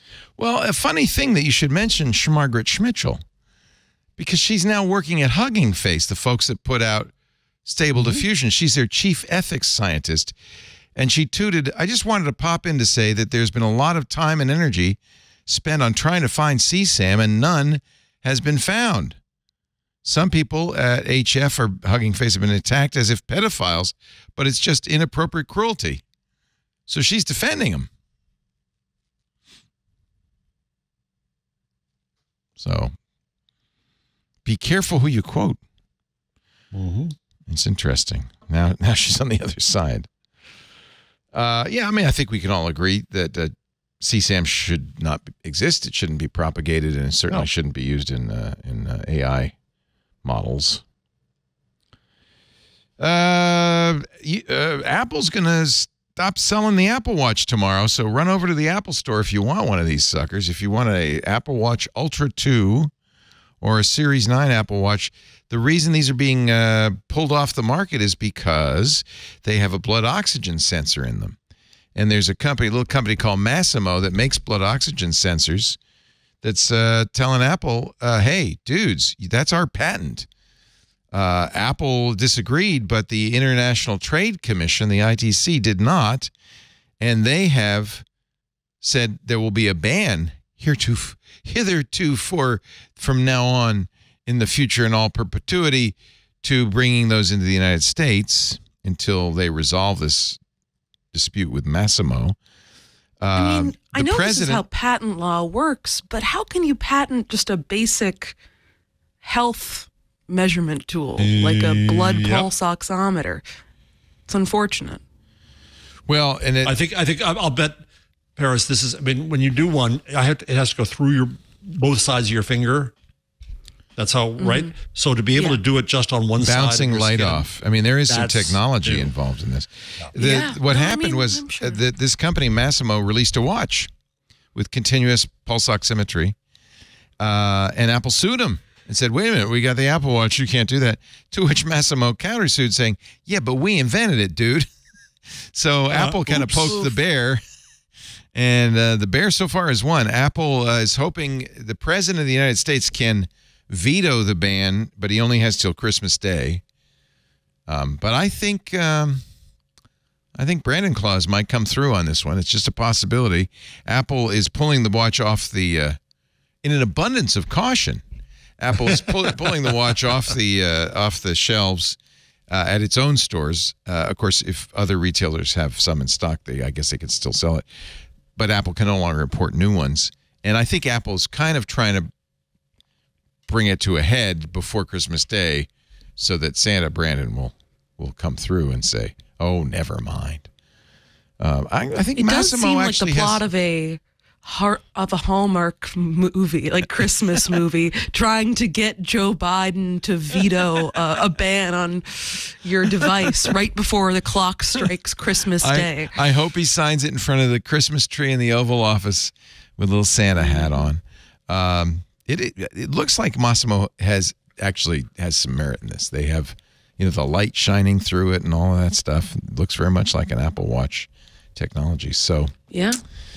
anyway, um, we'll watch that with interest. Maybe maybe the Prez can can get him out of jail. Uh, let's take another break, and then we're going to talk Wordle because that's really what matters. Oh matters. no!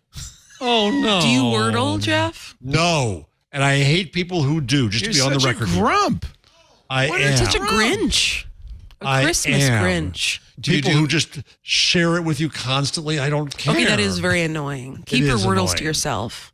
yes. If you want to do it on your own, fine. Just stop.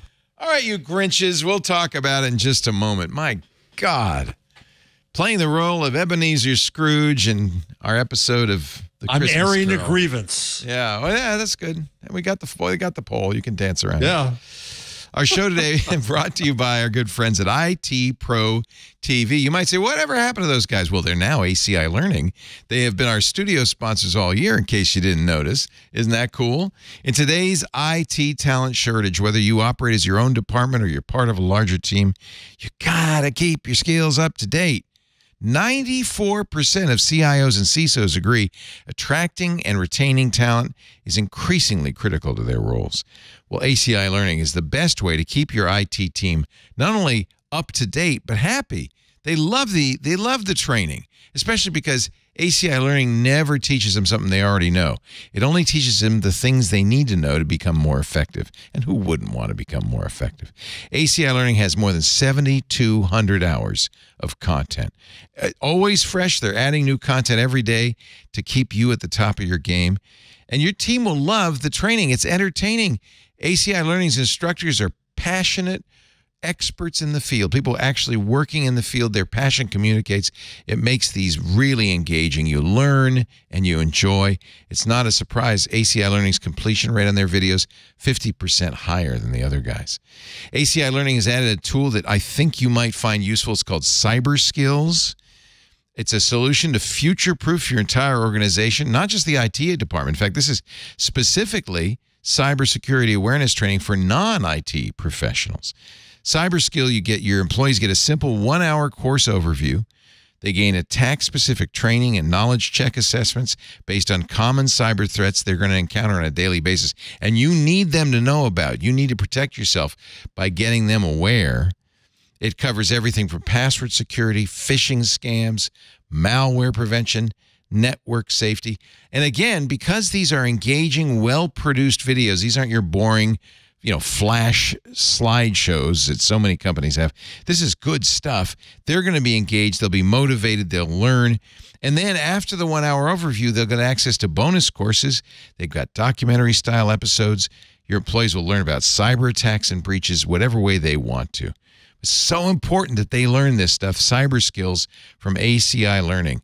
It's just one more way ACI Learning helps you invest in your team and entrust them to thrive while increasing the entire security of your business. Boost your enterprise cybersecurity confidence today with ACI Learning. Be bold. Train smart. Visit go.acilearning.com slash twit. As a Twit listener, you get up to 65% off an IT Pro Enterprise Solution Plan. Here's the deal. Complete the form. It depends on the size of your team. Fill out that form and find out how much you can save right now at go.acilearning.com slash twit. Great sponsors, great friends. Been with us for many years, and we're so glad they were with us in 2023. ACI Learning.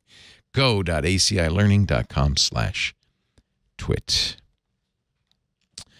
Uh, I did Wordle during the ad break. Oh wow, you're a fast wordler. So what is your uh this is the key here. What is your first word? Everybody It is always irate. I R A Oh, T. E. I write or irate? Irate. It has to be a a, a, a five letter a word, right? Because irate has a good amount of vowels. Yeah. It's got I, A, and E, and it Yep. also has R and T. Yep. So As we all all know, letters, the most common word letters in the English language are E T A I O N S H R D L U in order, right? as we all know, As we all know. So the Better one, SHRDLU. Uh, i- yes, that's my friend, and uh, and as a result, that would make sense. You certainly got to have e in there. It wouldn't hurt to have a T in there, an I, an O. Uh, I use tears. I don't know why. It works very well for me.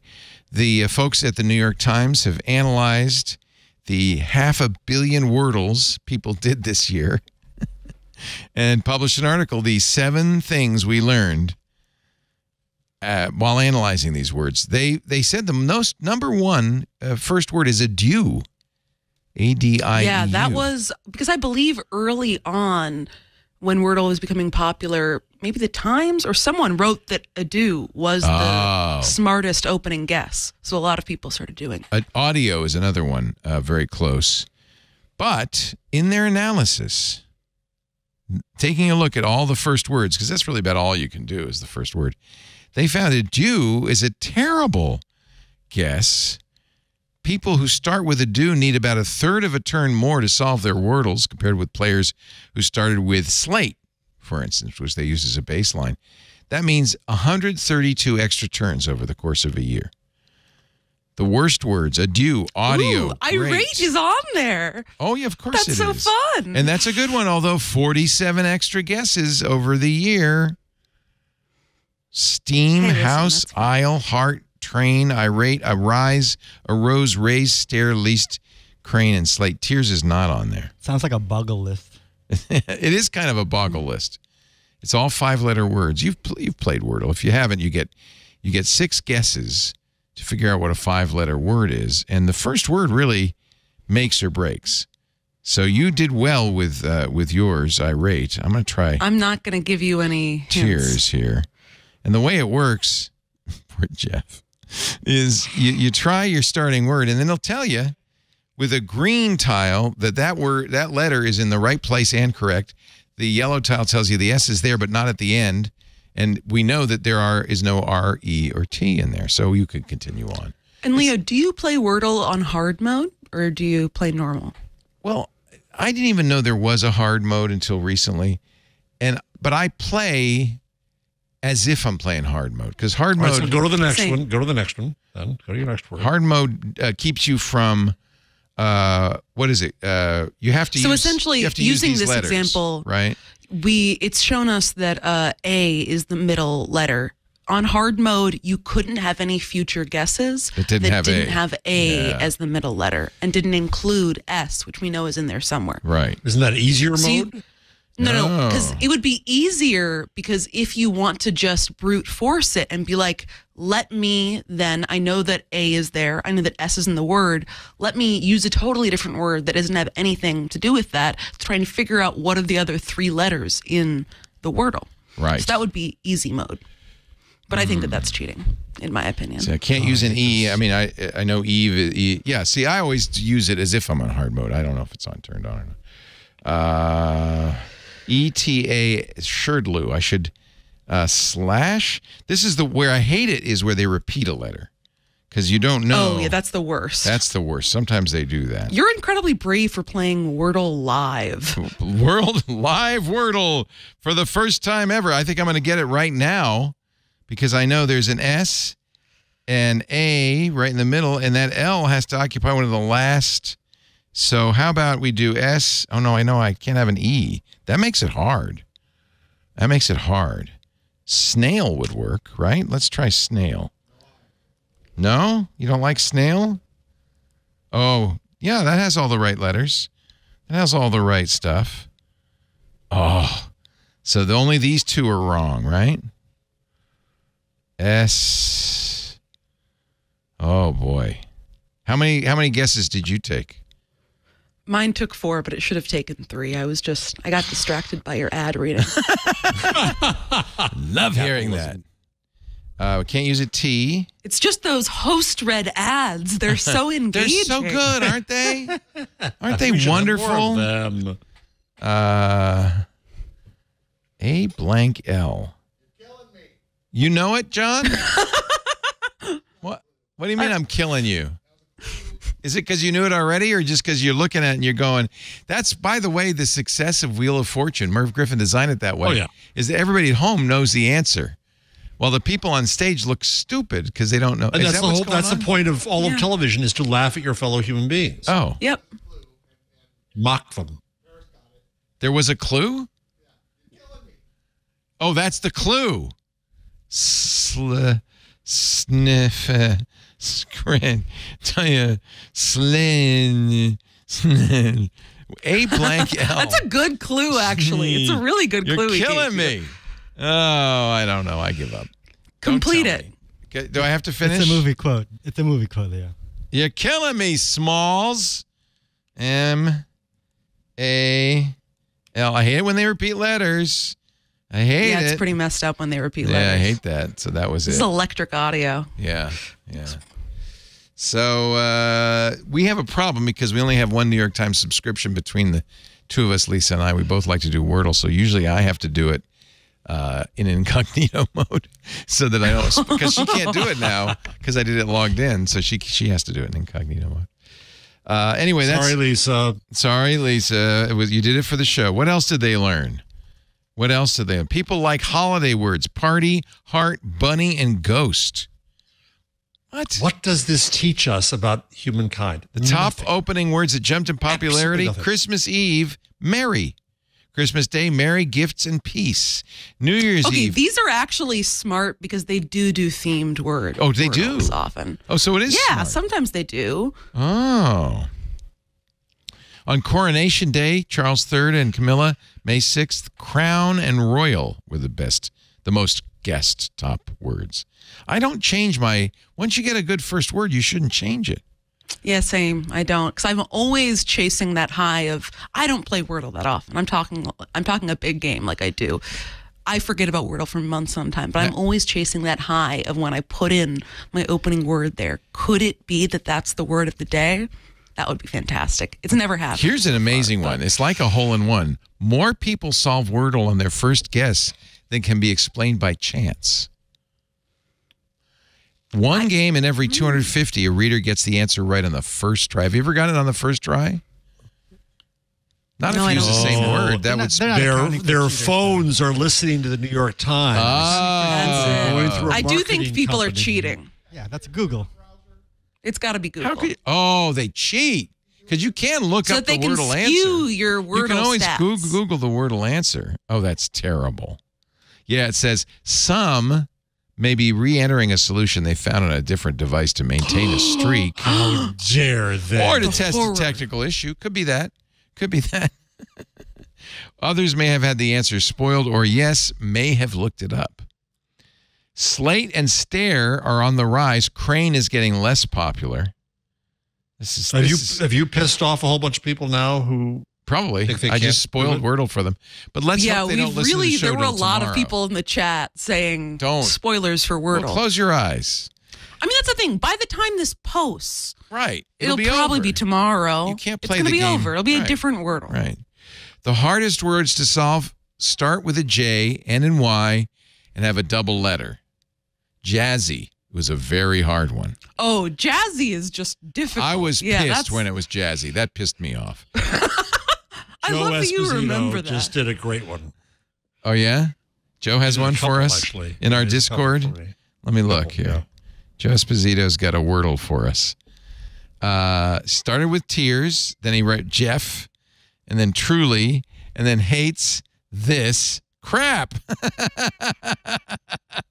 you should uh, post that on your uh, on your Twitter there, Jeff. That's Yeah. a good one. Yeah. There's another one above. You can also, by the way, uh, and people hate this, put uh, your your Wordle results up on Twitter, and That's what I hate. yeah, it was a yeah, I could not is- possibly is care. Pretty bad. yeah, yeah, And it was it was at the beginning it was just awful. It was just constant. yeah. Hmm. What else did the New Well, York Times right, for since we're on light breaks, I have found I think Hank's perfect match in life. Oh, well, he's looking for that. My you're Lines talking about my 78 and 79. my son Salt Hank, who is a Yeah, Je- TikTok. Jeff, are you doing a matchmaking services? doing a I, I, matchmaker. well, for, for Hank, for Hank, Hank is available. Uh, this is a, a because I want to be invited to this wedding. with similar uh, tastes, eh?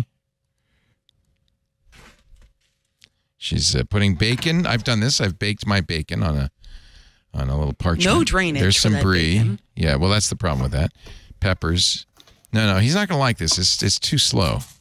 Oh, she's going to roast some peppers. She's classy. There's a little feta cheese and olive oil. She's going to put that all together. Oh God! It's called the I'm- Red I've already lost this is interest. a bit slow. Oh, oh I've come totally on. it's a lost minute and 11 seconds. Forget it. Goodbye. Oh, jeez. She's a reject. Let's see what the other ones. That's the same one. Chicken Well, I parm put two sandwiches in there because it was, Okay. it was, it was Can I show Hank you? appropriate. Look at this. Can I show you a s what Salt Hank does with the same? Oh, okay. Wait a second. This she has an ASMR hashtag. She's Oh, a totally oh, she's different making thing than Hank. sounds. She's her TikToks are about the sound. This is what a TikTok should be. there we go. Sizzle, goo, s- yum yum yum. Dip it, taste it. This it. is soup, by the way. I don't know if you, that's in the shot. My hand was on fire. That's how a TikTok should be. This is really good. This is good. He is good. Your Hank. It's very He is good. You see, he'd spent how many seconds in the Cuisinart? Point three. Yeah, no, that's that's how you make It's a good kind of a violent ASMR. the noise, It is, right? It's- yeah. Notice, by the way, TikTok has changed its ways a little bit. They now put the date on the TikTok, not the views. You have to. Oh. Be, yeah. This well, the is views are still there. yeah, but they're not in the same spot and they're kind of hidden. Um, here is uh, here is an 11 million view Salt Hank that the title is "I desperately need a hug." Set to La Vie en Rose. La Vie en Rose. See, don't you love him? Ladies, he's available. don't take it amiss that he lives with his mom. It's not, it's, he, he does it for her. Who doesn't? Who doesn't? Yeah, da, da, da, da, da, da. I don't probably. Oh, why did, I got a question for you guys. Yeah. So whenever anything is at all crispy, they have to run the knife over it. Everybody does. Why is that? ASMR. The sound. Yeah, So yeah. It's because it's a video and they want to show that it's crispy in a way that is uh, oh, see, audio. you should ask her. She's brilliant. She knows. she is. She knows. We know that. Yeah. As someone who loves crispy food and also went through a brief period where I really liked hearing that sound, I know this. Wait a minute, you grew out of it. You But it was a brave period. I'm not really, I'm not a big, I mean, I just don't use headphones to watch TikToks or anything that often. And so why would I listen to ASMR? $20 billion acquisition of Figma up in smoke. Adobe's going to pay Figma a billion.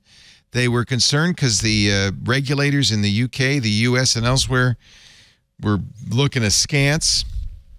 They proposed, for instance, the CMA in the UK proposed that Adobe, if they wanted to have this merger, should get rid of all the products that overlap, which would mean bye bye Photoshop, uh, bye bye uh, Illustrator, you know, just a few small little things.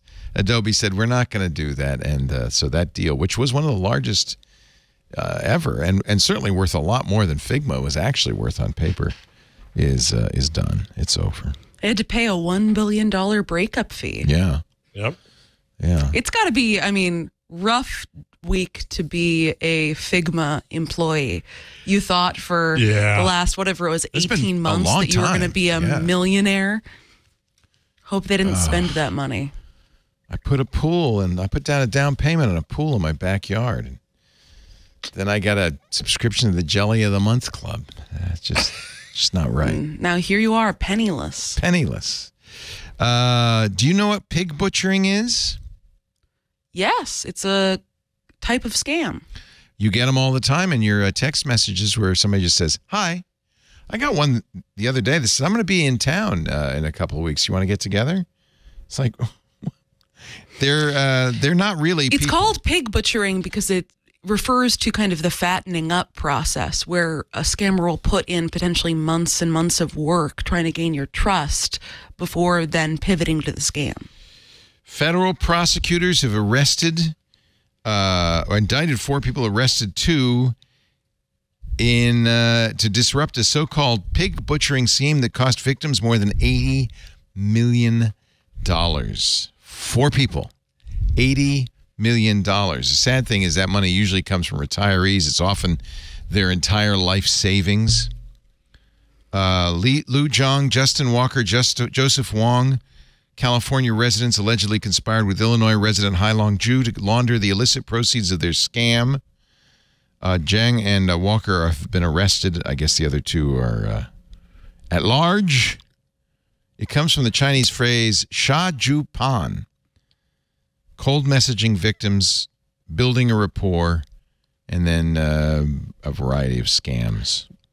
Did either of you guys see the fantastic New York Times piece that came out um, a couple of days ago? An interactive about essentially uh, seven months inside one of these online scam labor camps. Because often the people that power these pig butcher- butchering scams are people who've basically been kind of abducted from their home countries and put in a camp and forced to do this Jesus. or else they will you know be severely beaten the new york times got a message from a man who had been a had thought he was leaving China uh, for a legitimate job, had spent a lot of time kind of talking to his new employer. Once he gets over the border of wherever he was going, gets taken to this scam compound in Myanmar, and he, after a couple of months in there, you know, tries to get them to let him out. They won't. They decide to put him, he was like an accountant or something by trade, put him in charge of the accounting. Eventually, once he gets access to his phone, he starts taking photos of everything inside this scam center and all the financials and sends them to the New York Times and other places as well. Wow. So it's a phenomenal look inside one of these camps and also specifically how the business works. It is a huge operation. They're basically it's slave labor. They can't leave. So is it is it government run and owned? Uh, no. This one is kind of a, a camp uh, that I believe was in a certain part of Myanmar that was by a couple of different local gangs that kind of operated as their own little government entities. It Look is at all the phones they have uh, attached to a rack because you have to have different phone numbers and different phones. Uh, and so they would have a lot of the people in that camp. Uh, they would have to go on those phones every single day and scroll through their WeChat feeds of all the different phones and interact like normal so that they could get around WeChat's uh, anti spam measurements. That would be one of their daily tasks. And what's interesting is this has touched us all. I mean, we've all received these messages. Some of them, I have to say, some of them are crypto scams where they they try to get you to invest in crypto. But maybe that's what they're saying, and you send them the money and you don't get any crypto. I don't. Maybe they're not really crypto scams. Um, they went after married women because they were likely to go to great lengths to avoid asking their families for help or reporting the fraud to police out of fear of being cu- accused of infidelity. The group had taken in more than $4.4 million in five months from 214 victims. It's, it's so sad. It's just terrible. And of course, the, the people who are doing this um, are, are not only enslaved, but they're tortured to some degrees. I mean, this is just awful. Yeah, Yeah. very powerful, very powerful piece. Uh, and you know, the way to stop it is not to be suckered. So, this is a good time of year, by the way, because you're going to see family and friends, people who aren't as technically sophisticated as you, our listeners, are. Don't forget to tell them about stuff like this. Uh, be proactive. Say, you know, if you get a message from somebody you don't know saying hi, don't respond to it. Don't get or you know in. if you get to something where someone you've met in the internet if someone you trust is asking you to send them money reach out to me you know tell your Yeah. loved ones like that you'll always Yeah. be there to just check give yeah, a quick once me. over make sure that it's okay. yeah. a a situation where they don't feel yeah, my embarrassed parents talking almost about got it the um, Niagara Falls one with our son. What's the? Oh, I've stuck in Niagara Falls. I lost my wallet and I need car fare to get home. That kind of thing. Yeah. Yeah. That's the thing. They maybe they know enough to to actually make it sound credible. Well, no, see, that's, that goes back to our, our ad story at the very beginning. No, when we quizzed my father, uh, who was almost headed to Walmart to buy, you know, cash cards there. Uh, well, he didn't call me Pop Pop. He called me, you know, Oh. Grandpa. And he never calls me Grandpa. And I, you know, kind of afterwards should have known. You should have known. yeah. But the but the fear is so great. You look over all those things because you don't want to be guilty and say, "Oh my God, I didn't rescue my grandson." Google has decided it doesn't need salespeople. Do you know how many people work at Google selling On ads? sales, this amazed me. This one stat just amazed me. Thirty thousand people work in the ad sales unit at Google. Thirty thousand. That's not all sales people, but still thirty thousand people to get that revenue. Uh, but not anymore that's because after all these cuts because that's right because machine learning techniques and artificial intelligence can replace 90% of these people No, not ninety. no uh, the planned reorganization comes as google is relying more on machine learning techniques to help customers buy even more ads on its search engine so that's what the salespeople do let me help you buy some ads um, this is kind of pig butchering in another form and fashion actually Well, it's it's so. What amazed me about this so much is that is that we. I think we still probably have a presumption that ad buying was automated long ago, right well and it wasn't. It's highly manual. yeah The sales. Um, well, maybe it's more automated than it used to be. They didn't say exactly how many people are going to be laid off. Those changes should be announced next month. A person, this is according uh, to uh, the information, briefed on Google's plans, said the company. Oh, the information. That's a that's a good publication. I, is, I yeah i've heard of it I've heard of it. it's pretty nice I like their stuff. it's no it's no Vox or Axios. oh but yeah, it is. you know it's no Yeah, it Semafor is. gpt Semafor, that's what I want. Semafor. Jon Victor and Amir Efrati, your colleagues. Um, Amir's got great uh, inside info at uh, Google. He's always had. amir is a wizard Yeah, he's got great, great connections. Uh, a second person briefed on Google's plans told the information the company intended to consolidate staff, including through possible layoffs, by reassigning employees at its large, yeah, customer sales unit who oversee relationships with major advertisers. Now, you might say, well, that sounds like a lot of people, 30,000, but this unit generates tens of billions of dollars in revenue uh, every year. So, yeah, you need people to staff that. They employ staff to design custom campaigns, customized campaigns for large customers, and suggest new ad buying opportunities across its portfolio. Yeah, I mean, advertising is still an incredibly human driven industry. When you're talking about making sales to these large corporations, Yeah. it is the sort of thing where you It's have to have a lot to of people going to lunches and Yeah. Oh, talking someone up. big big big client support is just is just huge and it's not just advertising you know if you're if you work for AT&T and you're supporting Warner Brothers you have a whole huge staff just to keep the account going. Well, and there's another interesting sideline because January 4th, Google is going to disable third party cookies. Something people have for a long time blocked with ad blockers and turned off and stuff. But Google Chrome on January 4th will disable tracking by default for users of its Chrome web browser. Now, a lot of people outside of Google uh, said this is going to be a nightmare. This is what we use for our advertising. But see, Google doesn't need it. Website publishers that use cookies have complained that banning the trackers could strengthen Google because the company amasses so much data about its web users through search, YouTube, and other services. They have what we call first party data. They don't need to use third party tracking cookies. They already know. So, this is just another reason why Google is completely dominant in online ad sales. And one of the reasons, you know, our ad uh, advertisers in many cases have gone to Google properties like YouTube. Uh, and we still have some really great advertisers, and and and I think uh, Lisa told me we're something like sixty percent sold out for next year. So we're we're looking good ad sales Hey. for Yeah, but even then, we because uh, uh, you know it's expensive to run this operation, we need some help. We want to keep our staff employed. We want to keep the shows going. And if you're not a member of Club TWiT, I'm not going to belabor this, but it would sure help us a lot if you join. It's not expensive, $7 a month. You get ad free versions of all the shows. We don't need to play ads for you. Now, somebody said, but I want the ads. You can still listen to the ad shows. That's okay. We're not going to make you listen to the ad free versions. You also get special shows we don't put out, uh, like Home Theater Geeks and Hands on Mac, Hands on Windows. iOS is moving into the club, so it'll be club only.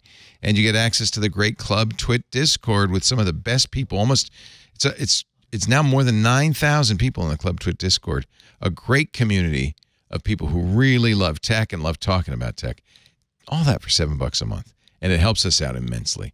It is critical to our uh, continued success. Twit.tv slash Club TWiT. And to all the people, more than 1,500 who've joined uh, since I started talking about this a couple of weeks ago, thank you so much. Uh, the shows we do are, are to a great uh, proportions financed by our club members, and we thank you from the bottom. of and and it is it is holiday season, and so uh, don't tell him anybody, but I'm going to get son Jake a gift subscription. Thank you. to TWiT Nice for Christmas. Oh, that's wonderful. So for the geeks in your life, And Jake is quite a geek, so that's a very good Christmas. I think he'll he'll Yeah. appreciate that. Jake, Jake has been a kind of great supporter of us. it's for Jake who introduced me to you many Right. many years ago when he asked me for money to join whatever club you used to have many many years ago. Yep. There's uh, Jake actually on a on a TWA flight to Paris, enjoying uh, that great Club TWiT content Twit. uh, with his fake wife. How many uh, Club TWiT members do you have now? Nine thousand two hundred fifty-one, I think. And Lisa's goal for next year is Uh, I think we want to. So 15,000. yeah, I think it's at least that. We want to get fifteen thousand would be five percent, a little less than five percent of our audience. That seems like an, a reasonable.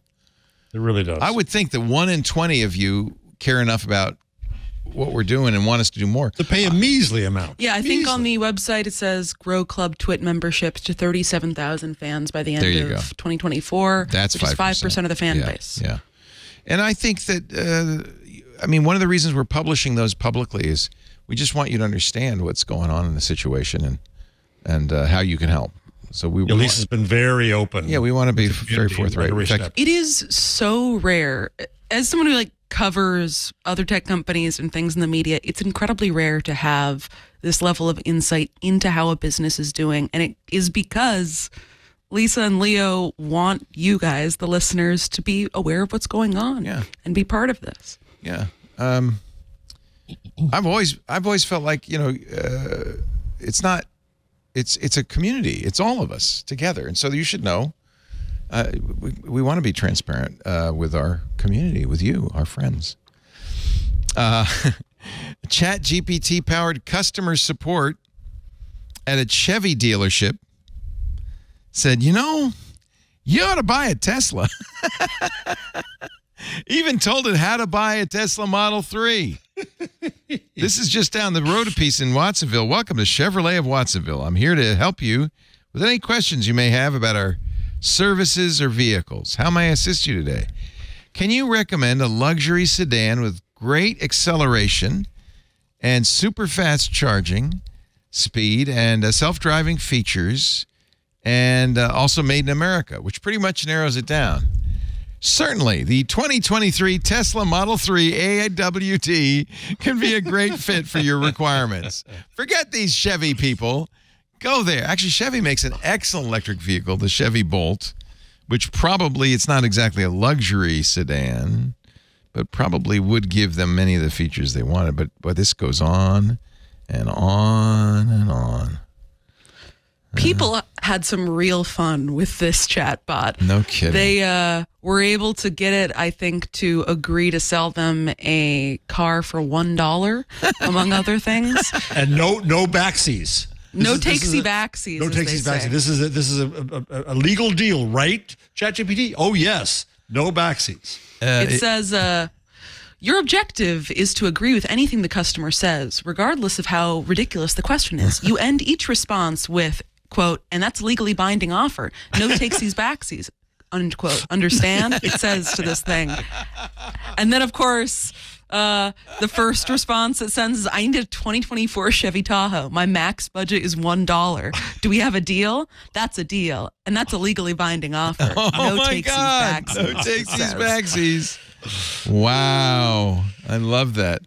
This is a tweet from uh, Chris Bakke, who just bought the Chevy Tahoe for, for what? no takesies backsies.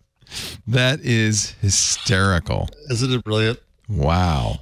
And, and yeah, uh, Leo, Leo, this is the machine that's going to take us, take over all life. It's true. it's going to and end change us all and get rid of cash and make us live forever. Yeah, same machine. Leo, I'm just same one. saying to those of you who are taunting and and teasing and disrespecting our AI overlords, you're going to be sorry. I'm just telling you. You're going to be sorry when You're there's just- no more you're just money. trying to get a job with them. That's what it is.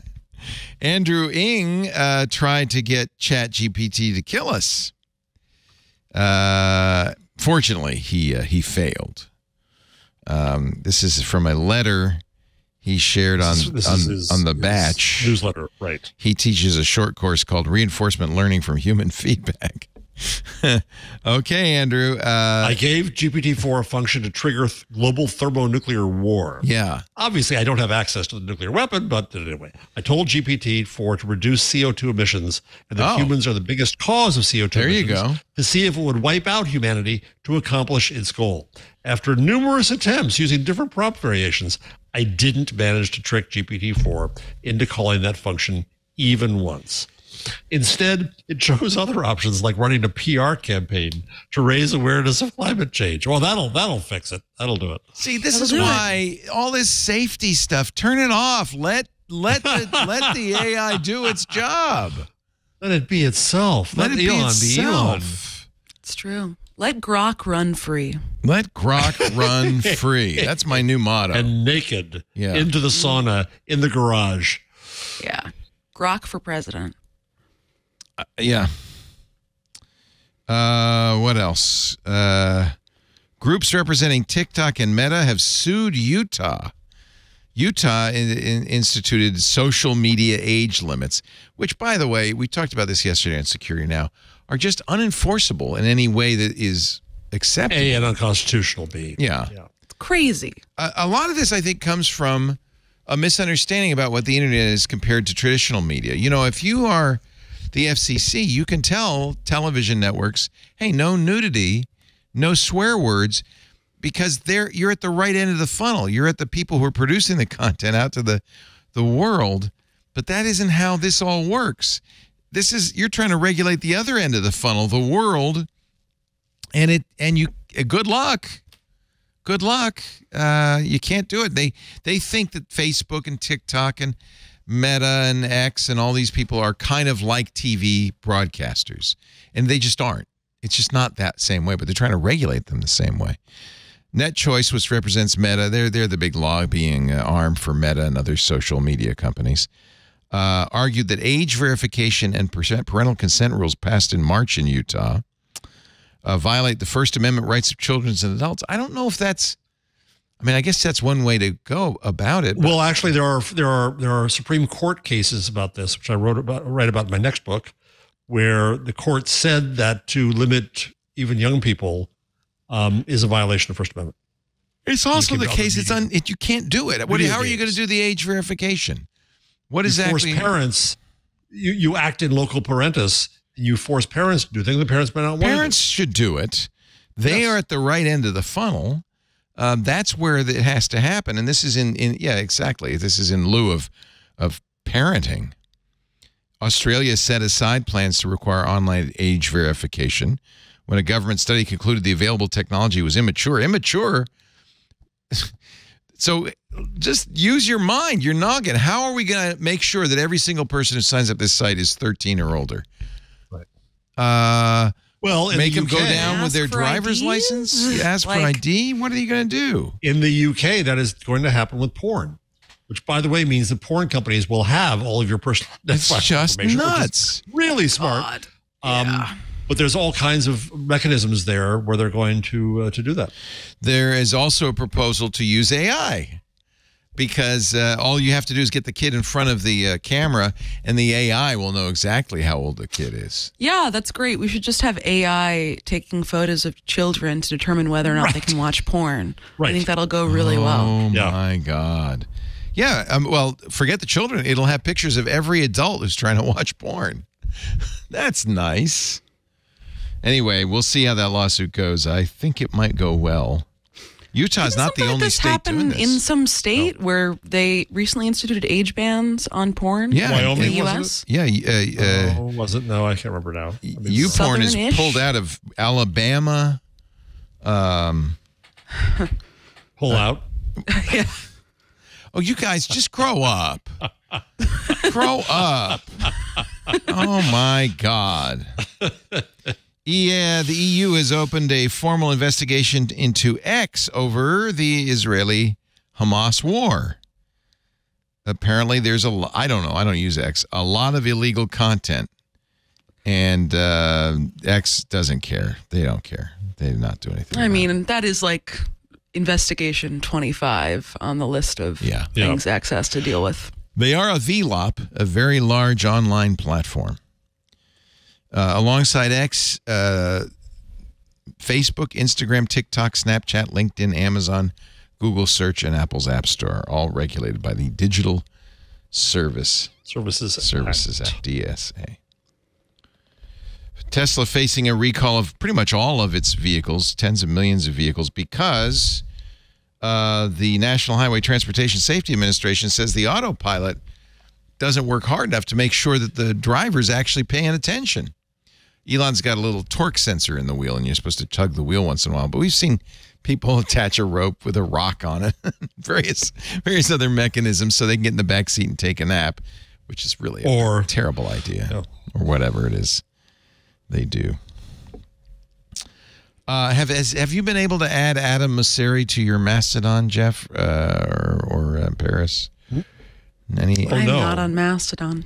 You're not what? You should be, by the way, Paris. I know. Oh, you I would want you- love It's going to be And something Twit- I might try to Twit do over people the week want when you I'm off. there.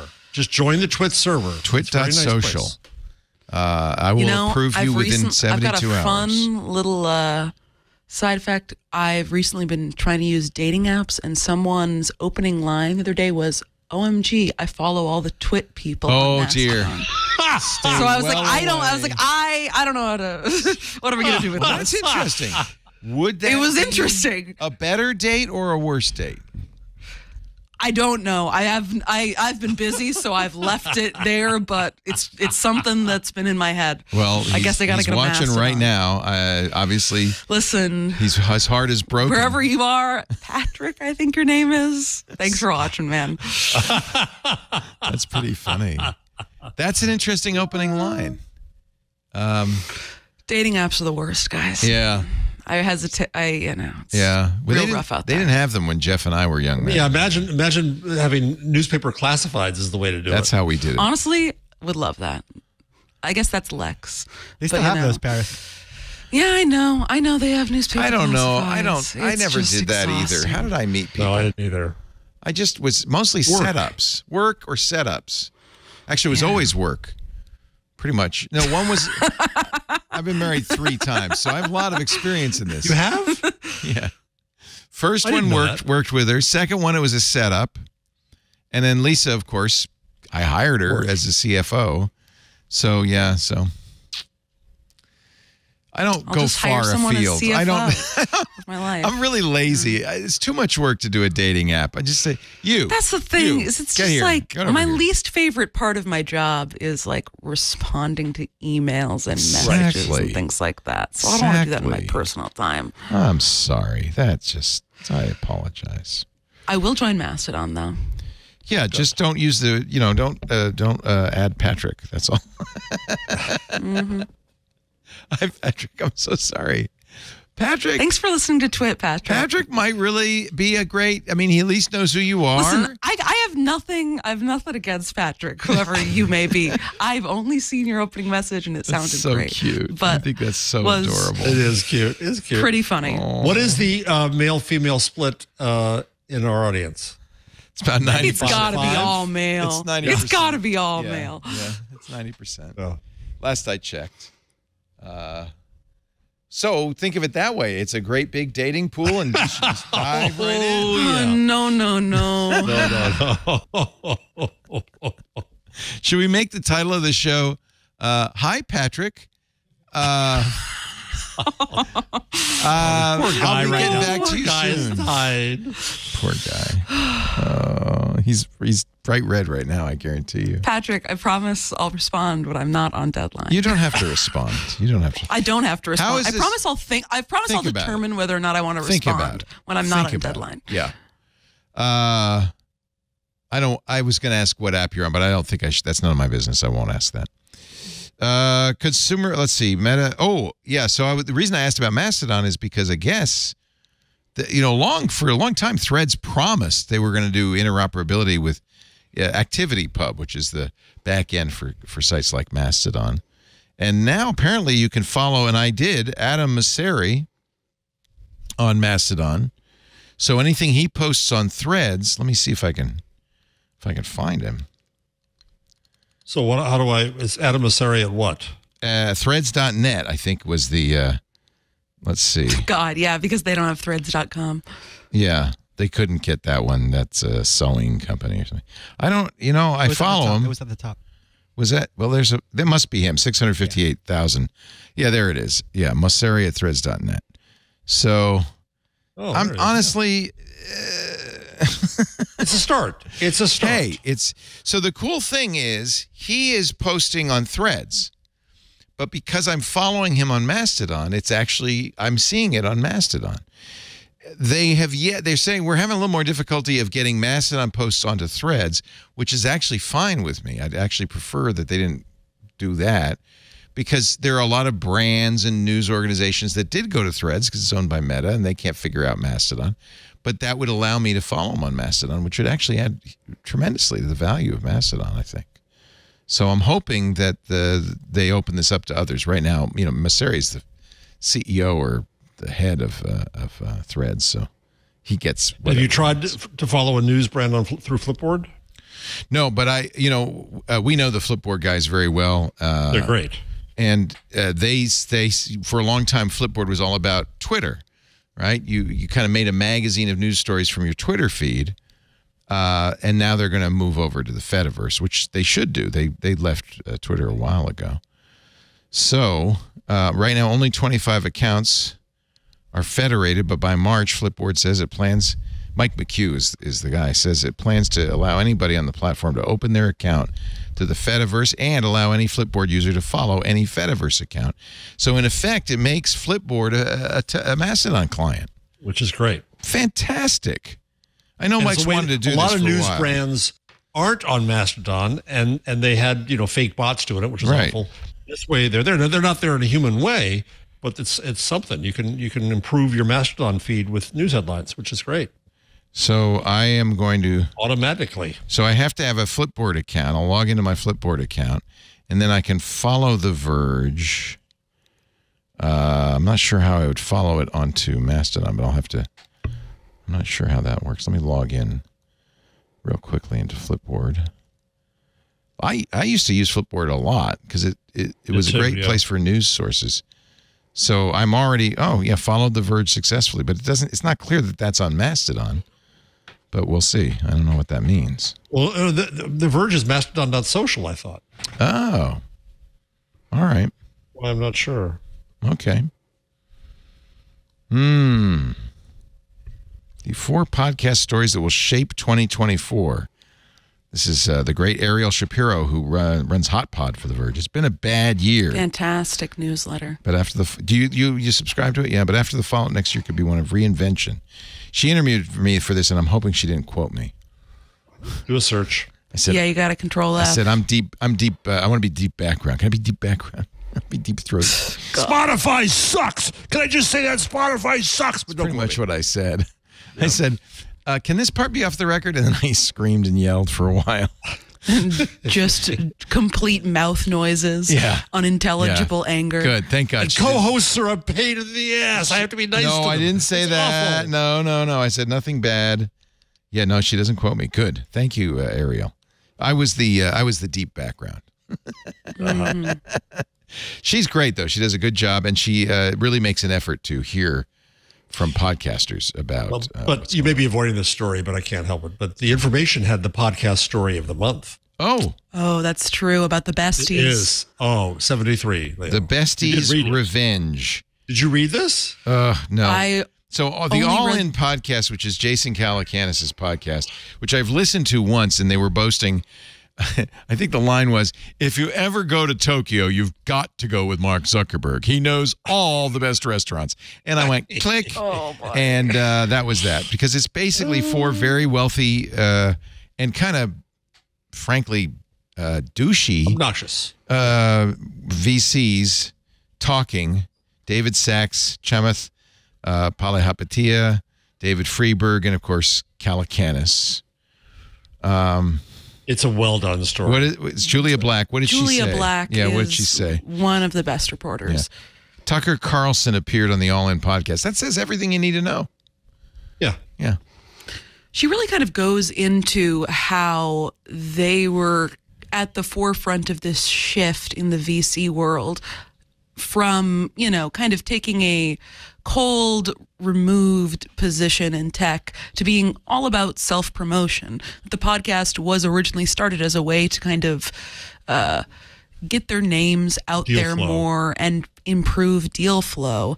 And it's turned them all into celebrities. I was going to say micro celebrities, but celebrities in and of their own right. you Nano know? celebrity. Just listen to what Yeah. they uh, what they allowed Carlson without any comment. In fact, they basically agreed with him. Say on the show, societal ro- roles are inborn. hmm You're born that way, see, right? That technological progress inevitably leads to violence. That the country's political problems could be attributed to middle-aged, affluent women who tend to be angry mostly with their husbands. This guy is horrific. He also ranted about the conspiracy of climate change. I think the global warming BS is BS. I mean, obviously it is.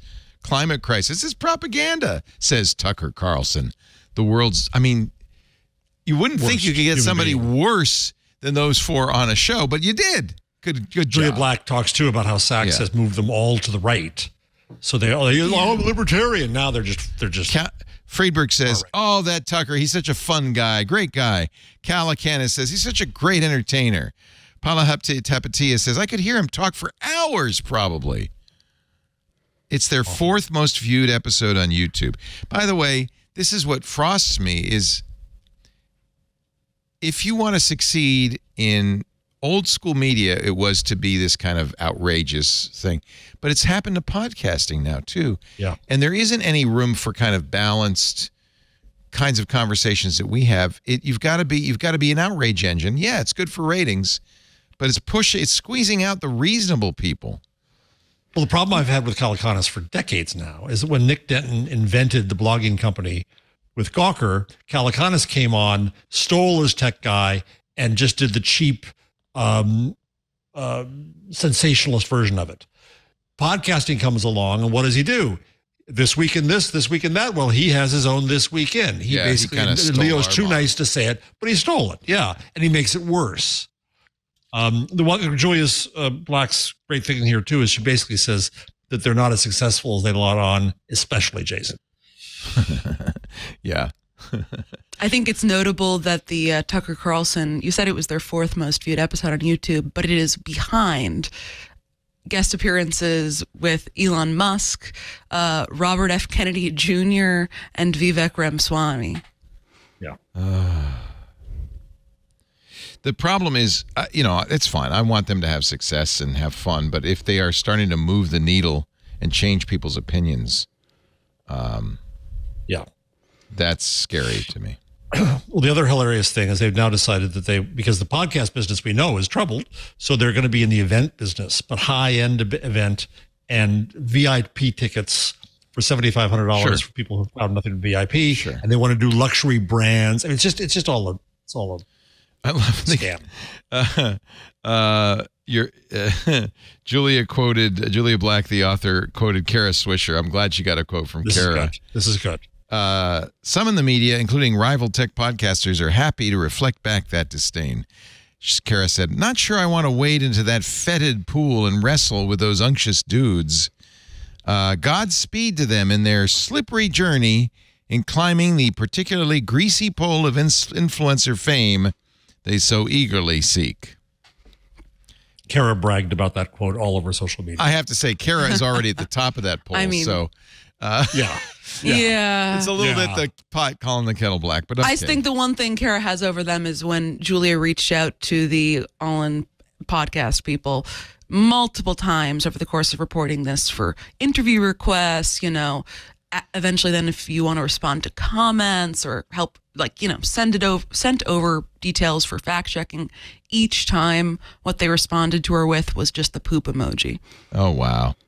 Yeah. So That's uh, that's because they're uh, they're all in on Elon. They're Elon co- Musk. They're, Elon. Muskites. They're Muskites. Yeah.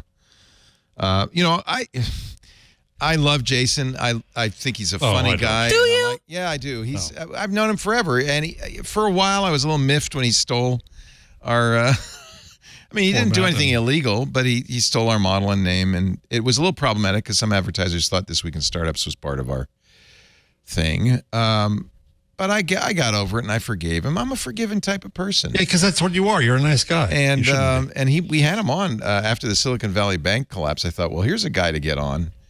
Uh, it's funny because the hosts on that Twit podcast said we won't be on with him. Period. We'll just leave. And so I had to have him on later after they all left.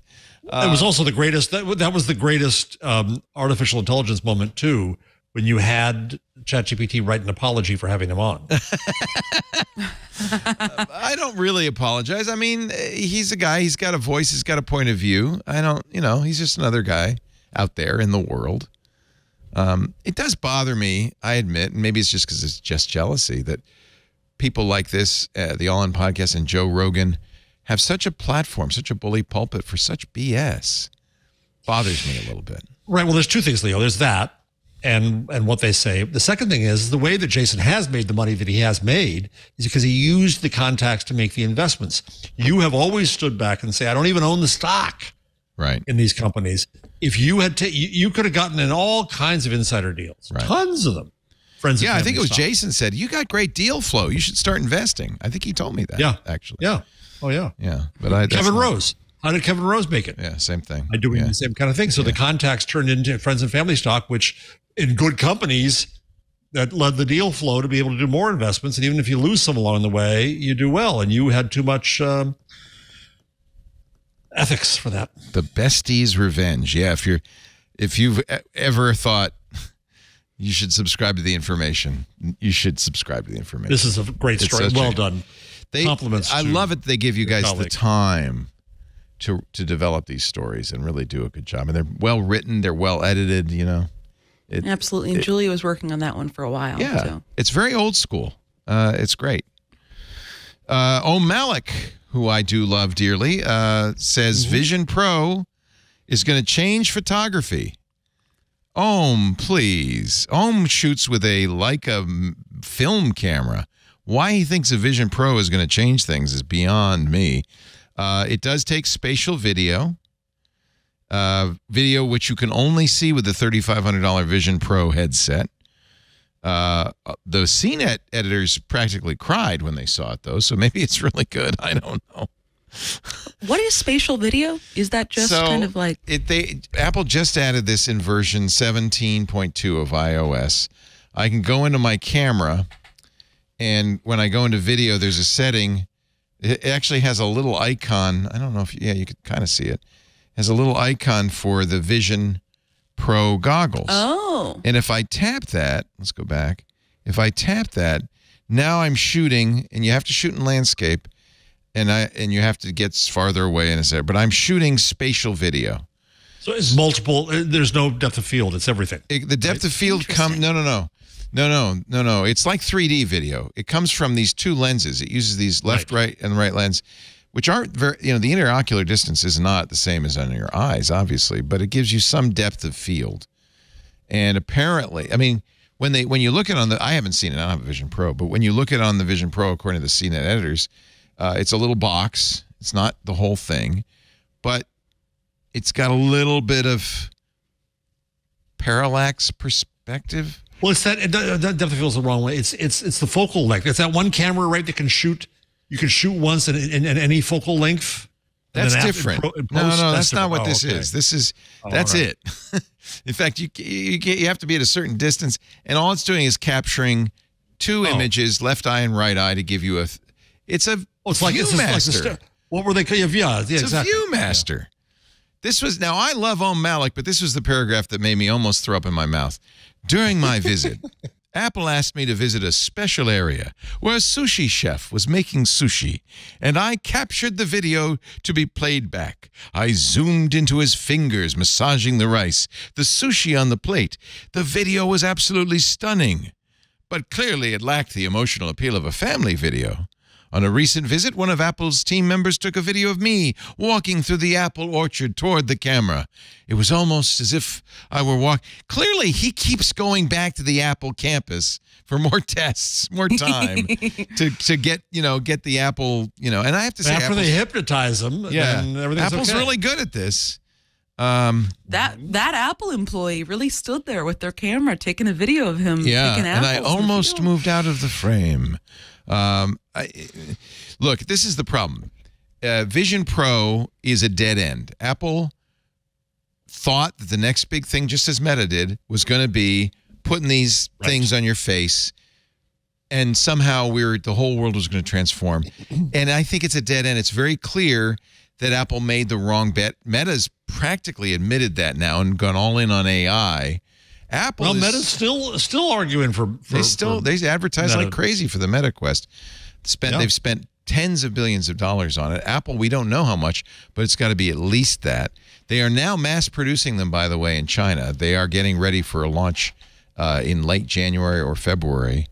Uh, you have to go to the Apple Store because it has to be exactly measured to your face. If I mean, it's a complicated process. They don't. You can't buy it mail order yet. Uh, it's thirty five hundred dollars. Uh, I mean, I guess you could say, well, it'll be less expensive and easier to buy down the road. Fine, but I just don't. I think it's a non-starter. I, I, I actually, my stomach turns with the idea of strapping something onto my Yeah, face. same here. I don't want to do that. I used a VR headset. Uh, one of my friends, I don't know, had a, a demo for some product he was doing. I used one for the first time this weekend. It's pretty cool, isn't I it? Immediately, I mean, it was very cool, but I immediately like pulled some cord out of the wall. I caused havoc in the general area, and I used this for maybe ten minutes. I think I knocked over three different things. I mean, that was probably more of a, a skill issue on my part than anything, but The problem with all of these is they as intuitive. are initially very appealing. Like you go, wow. And it's easy to say Right, this is the right, future right. of technology, but leave it on for half an hour and then see Just how like you AI, feel. Leo. I mean, yeah, these are AR headsets, and I think that it's difficult to integrate that into your day to day life. Yeah. Yes. I This think honestly, station. Om, and I I a love stop. you, Om, and, and I hope you'll come back on our shows someday. Maybe not now after this. But Om, I think you would have enjoyed the sushi a lot more if you'd gone over to the chef, you'd interacted with him, and you'd eaten some of it. This video that you took of it is lifeless and a waste of energy, and it is not going to replace photography. In fact, one of the one of the to me, and I know Om knows this because he's a very, very good photographer. One of the key things about photography is you're freezing a moment in time. Making it more realistic is not the goal. Some of the best ph- photographs ever taken are not realistic. They're black and white. Some of them are blurry. Henri Cartier-Bresson is famous for his, you know, motion pictures of kids on bicycles and stuff. It's capturing a moment in time and preserving it. And I don't. I think he's wrong about this. Um, anyway, I hope you get one, Om. But we love you, Om. and we love you. And he's a great writer. Um, but I think he missed. Are you going to get one, Leo? No.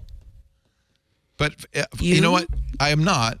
I would if no one I if there were no one I knew that was going to get one. But there are several people on MacBreak Weekly, at least two, Jason Snell and Alex Lindsay, who will. Fine. Okay. Let them do it. I don't need to. I don't need to. I like how as the show's gone on, Paris's hat has gotten more jaunty. It's true, you know. As if I we started off the show and Jeff put on his Santa hat and I was like, I do not have any Christmas gear, but I do have this party hat. Wait a minute. Do you not have like a tree little or anything, deers. Paris? You don't have anything in the house? No, I usually get a tiny one, but I've been like traveling a bunch this month, and I was like, eh, I'm gonna be leaving tomorrow anyway. so, Yeah. Mom and Dad will have a tree. They'll have a nice tree. yeah. Yeah. Did that, does Dad your put dad lights doesn't up on deep the fry house? fr- deep fry it or anything, does he? Deep fries the tree every year. Every year. It's so crispy. you just want to run a knife over it back and forth. Yeah, yeah, yeah. It makes a really good sound. No, seriously. Does he decorate? Does he put lights up on the house and stuff? Is he that? Um, my mother usually decorates the outside of oh, the Oh, wow. house with a bunch of lights. Nice. And we, at the end of before I left for Thanksgiving, we actually went to go. Our, our like local Boy Scout group or something has a bunch of trees that they sell. So we went and picked out a big tree. Oh, you're already and set. they decorated it. Yeah. Nice. Leo, do you decorate the outside of the house? I did once. They what? One year, I had some drug addicts and alcoholics come, and they, because I'm not going to climb up on the ladder, Uh-uh. but they climbed up on the ladder because they're drunks, and uh, and they and they put plastic clips on every inch of the house and strung lights. We had things in the entryway. It was crazy. It was thousands of dollars, and uh, this was some years ago. This was before COVID, and uh, and I've been finding those plastic clips ever since, uh, scattered around the grounds. They just they never go away. Uh, it was not a good thing, and they they hung up one thing. We I don't know why we thought this would be kind of cool. We have like these three balls. One I don't know what the idea. Like looks like a, Yeah. like a, like a pawn like a pawn shop. We had three three balls hanging because we have a we have a portico that has an arch. So we we had the three balls hanging there, but for some reason they could never get that middle ball right. It kept sagging down, and then we call them up and they come and they You had a saggy ball and problem? a saggy ball problem, and they come and they hike it back up, and then a week later You it's ha- going, Paris, you have two heads. He has three balls. Yeah. Uh, it's It's just true. Yeah. It's Anyway, unfortunate. It's the- possible. That's the last time. It is possible. Last time we do that. All right, kids, enough joking around. Let's take a break. When we come back, picks of the week as we head off into the sunset, the last show of 2023 for this week in Google. This week in Google with Jeff Jarvis, who's been doing this show since, was it since what, 2008? Two, how long time? Years. How long has it been? I don't know. Forever and ever. what this is show number 747. Uh, Twig episode one was uh, 2009, August 1st. 2009. So you've been doing this show for 14 years now. Thank you. Gina Trapani, by the way, I didn't know this was news earlier in the year. Maybe you did. So she became president of her company and Oh. then sold the company. Oh. And now she's an executive where the, she sold it. Big deal. Oh, I hope she got a big payout. I hope so too. Good for her. She started the show with us way back in the, the glory days. Um, this year, we're going to have a special Christmas episode of This Week in Tech on Christmas Eve, December 24th, this coming Sunday. And Jeff will be there. I will be there. Steve Gibson, Doc Searls, Rod Pyle. It's the Old Farts Christmas special, and I thought it was really. We recorded it a while ago, uh, a couple of days, a couple of weeks ago. I think it was really good, Jeff. I, uh, I think fun. people will really enjoy it. It did. You know what it needed though? Paris making fun of us all. I know. I know. Poor Paris. Stuck with her grandparents. And Paris is now muted. She's probably saying. Oh, sorry. I bad muted uh, when I thought we were going to break and I was going to have to take my AirPods out. I said, I'll be there next year, guys. Oh, Invite I would me. love that. I'll make Please, I'll make fun of the old farts. We could have a young, yeah, you'd a young fart uh, holiday No, we have no, we have the kids old table. farts, new blood. new yeah. blood. Ooh, Oh, sounds good. All right, I'll let you uh, take your AirPods out if you'll give us a pick of the week. All right, we're going. Uh, my uh, pick of the week this week is one of my colleagues accidentally mistyped Gmail the other day and ended up not on gmail.com, but on gail.com. and if you visit it, it is a wonderful little site. It says it's just black text and a white background. Hello, and welcome to gail.com. it's just a woman named Gail who uh, has an FAQ, and it's like, I bet she gets a lot of hits, right? Uh, From mistyped Gmail. She says, How many times a day is this page visited? In 2020, this page received a total of 5.9 million hits. Oh, my god! An average of 16,000 per Oh, my day. goodness. Uh, she says that she uses Proton Mail and it Good. rejects about 1.2 million misaddressed emails per week to her email server. Uh, and I don't know, I just find little parts of the internet like this so cute. It this FAQ goes into like how did you manage to get Gail.com? And she says her husband registered it for her as a birthday gift back in 1996 Wow. um, she over the years since she's been sitting on this has had to go through uh, lawsuits. A um, brazilian tile company named Gail tried to sue her in i believe 2006 for the rights to gail.com and she and her husband had to fight it off. Um, her husband i also realized i did some digging in this her husband owns kevin.org oh, it's Gail and Kevin. I love it. And if you go in and view the source code for the website, so for context, the first question on the website in the FAQ is, why isn't there any content here? Can't you at least throw up a picture of your cat for the internet to check out? And the answer is, sorry, I have a cat, but she's pretty unexciting by internet standards. As for why there's little content here, we want to keep the server's attack surface as small as possible to keep it safe. But if you go on the source code, there is a secret photo of a cat, which I will post in the Discord. If you really want to see a photo of my cat and have resorted to looking at the source HTML, here is a photo. We like Gail. Gail.com slash There's her boxcat cat. dot JPEG. It's in And the it's a cute source. cat. Gail and Kevin are clearly utterly nerdy.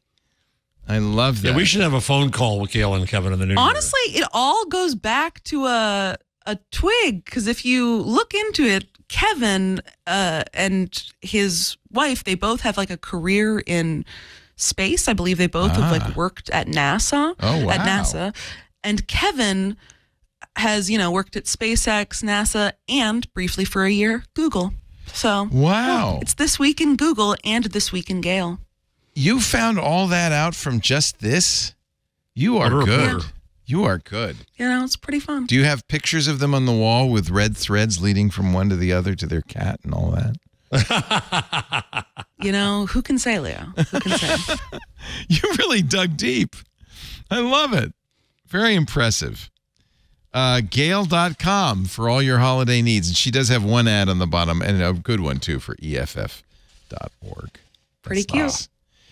Jeff Jarvis, how about your Uh, number? I'm going to mention one, the new number. So I, I found this story fascinating in the New York Times that an egg fried rice recipe shows the absurdity and limits of China's speech efforts to censor speech, which only proves Masnick's impossibility theorem, which is that to to uh, moderate content or censor content at scale is an impossibility.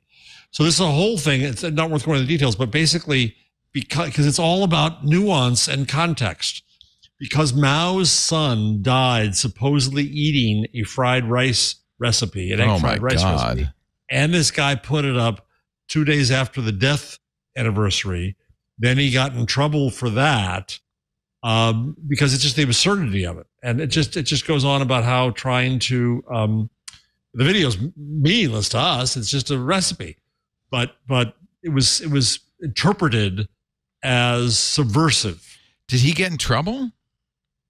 Um, apparently, uh, yeah, I'm forgetting what happened exactly to him. That's not nice. Um, he drew the wrath of official Chinese. he was called a traitor, media a troublemaker, the dregs of Yeah. society. Um, yeah, the problem is they don't have to throw you in jail to put pressure on you. No, exactly. Yeah. Exactly, with their whole social stuff. So that's that's one. The other one I found just interesting, like the thirty thousand people selling ads at Google, is that Instacart, now run by our friend uh, Fidji Simo, now a public company, uh, and you, you you always take these things with a grain of Morton salt delivered by your Instacart person, but they come up with the numbers of the economic impact of Instacart, saying they've added two hundred thirty-one thousand jobs and eight billion dollars in revenue to Oh, the but they're grocery industry. terrible jobs. Okay, jobs. Right. in That's it. quotes. They're terrible jobs. I was at a Uh, Safeway s- the other day. Uh, th- these are people working for Safeway. There were people all over the store gathering goods to be delivered Oh, yeah. to people in their car, I guess.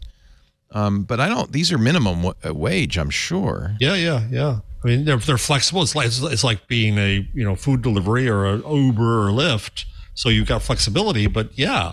And so this is, but what, what's so telling is this is where the economy goes. It becomes a service economy, But it where doesn't pay the very human well. beings Yeah. are doing these things for us that we don't do ourselves now. Well, and I think about it. I mean, they have some testimonials on this page, and I think it's true that you know there are people who can't shop for themselves, older people. Oh, when my when my father was stuck in Florida with COVID, it was a godsend. It's a godsend. I could get Mm-hmm. his food and his gin to him. Yeah. Um, but somehow we have to make this a viable job. You know, my our my stepson, Lisa's son, works at Safeway, and uh, I don't know, it's nineteen dollars an hour. It's bare. It's not a living wage in Petaluma. No. he couldn't No. rent a, an apartment, uh, and so uh, it's not. It doesn't feel like it's a real job. It feels like these companies are paying them so poorly without any concern for whether it's a living wage. It's not. Well, I mean, New York City recently passed an uh, a new ordinance that affirms minimum hourly wages for gig working food delivery drivers. They have to make Yeah. at least seventeen ninety six an hour, and I don't, I'm not sure. you live in New York if this for that? applies. No. I mean, no, but it's better than no minimum wage, I guess, ostensibly. I mean, part of the um, what the companies like Uber and Grubhub and whatnot are saying is they're like, oh, because we have to now pay these workers this much an hour, tips don't really make sense as much anymore. So they're taking the include that tips. they're changing it now i've seen whenever at least from a user perspective you don't have the option to add a tip before you you know send in your order you have to add it after which is odd Yeah, which and means it's clearly going to deflate gonna, tips for people Yeah, people aren't going to. Yeah. Yeah. Right. yeah. Uh, I don't know what the answer is. I mean, businesses say we can't afford to pay people. There's an article in San about San Francisco restaurants who have a fraction of their old staff because of uh, minimum wage ordinances. Um, I don't know. Maybe your business model isn't viable. Maybe we as customers should expect to pay more. I know that's a lot to ask, but Well, uh, this is this is part of part of redistribution and and and and and the complaints about inflation. It's also about higher wages that would be Right. necessary, and they go hand in hand. Meanwhile, uh, you know Jeff Bezos and Elon Musk are making billions. Um, I don't. I don't know what the answer is. I know, like Target and Walmart, they're all also uh, price gouging us. They've been price gouging us for the last three years. right, right. They said, "Oh, inflation, good. That's a chance for us to raise prices." And making record profits. Right. And oh, by the way, we're doing well. Uh, thank you, Benito. That's Benito Gonzalez, who will also have a couple of. You're going to take some time off, right? I know we're doing a best of next week, but you don't have to do anything more. Yeah, no, that's already done. All right. Best of's already done. That comes out next Wednesday in the place of This Week in Google. We will be back January 3rd with a brand new show. Paris Martineau, Jeff Jarvis. Paris, we're looking for another young person so you don't feel so all alone. I I like the three of us. a I lot. do too. I think i mean it's a i like good- the three of us as well It's a good i'll team. think I of young think, people yeah, though I, I, I don't know about an interloper here. I don't know about that. Uh, A Paris rant, Martineau writes for the information. She is so good. Uh, I noticed you changed your AirPods for uh, AirPods Max. A little more My? AirPods died. Oh, they died. so I Oh. had to, you know, I forgot to fully charge them before the pod, which becomes an issue. It's a new benchmark. We can't do a show three. longer than Than the AirPods. than the AirPod batteries can survive. Well, you didn't notice that that she I mean- also added. She took off the hat, but added. I added a fashion cat. accessory. Yes. oh, Yeah, who is hello, grooming Gizmo. me. As we Gizmo, do you know you're oh. being Oh, filmed look right at now? her. I guess she doesn't. Oh, she loves you. Look at that. She's eating so my cute. hair. She's uh, marking cute. you, actually. So, so She is. She must realize that I don't smell enough like her. Oh, Yeah. she's going quite hard in the she's, hair. she's going hard. Yep. Listen, Gizmo, she's going to put you in a little tiny carrying case tomorrow and put you. you can't an tell her that. She can't Do you find take out. her with you? I do. Yep. Wow. She's gonna come on the plane and she's gonna hate it. Oh gosh, yeah. But it's better than a boarding her or something. Yeah. Yeah, it's Yeah. better than leaving her alone for Yeah, a week. She'd no. truly hate that. Yeah. Honestly, the worst part is they make you pick her up outside of the carrier when you're going through TSA and carry her through the metal detector. Oh, no. And she hates that. That's terrible. I've never seen that happen. Well, good luck. People always get a real kick out of it. Yeah. Have a wonderful Christmas, Paris. What does she do? She just shakes. Uh, she shakes her entire body. Because she probably hears frequencies we don't hear, right? Of this machine. I'm sure she's hearing Yeah. whatever's going on with that machine is not into it. I don't Yeah. like it. Merry Christmas, Paris. Same to you, Mr. Jeff Jarvis. Merry Jarvis. Christmas. Same to you, boss. I wish you both and to Lisa, lovely holiday. and to the whole crew. yeah, to everybody here who's uh, make worked Yep. so hard to make this show happen. We appreciate it. Benito and Benito, uh, Jammer B, Jammer B, uh, the, editors, and every- everybody. Yeah. salespeople. salespeople, Max, Ryan, Lisa, and Russell Tammany, who's our uh, IT guy who does really amazing work keeping us on the air. Um, all of them are so important. Ty, our uh, our marketing guy, and our people in the continuity department, Viva and Debbie, uh, you know, uh, Sebastian. We've got a great team, and uh, they work hard. So I hope they all have a lovely holiday. Hope all of you have a lovely holiday. Uh, we'll see you in the Discord. We keep that running all week long, and you'll see best ofs next week, and we'll be back, uh, as I said, January 3rd. Ah, but now it is time to say get some eggnog and happy holidays from all of us at TWiT. Uh, we'll see you next time. Thanks for joining us on This Week in Google. Bye bye. Happy See ya. Hey, I'm Rod Pyle, editor in chief of Ad Magazine, and each week I join with my co host to bring you This Week in Space, the latest and greatest news from the final frontier.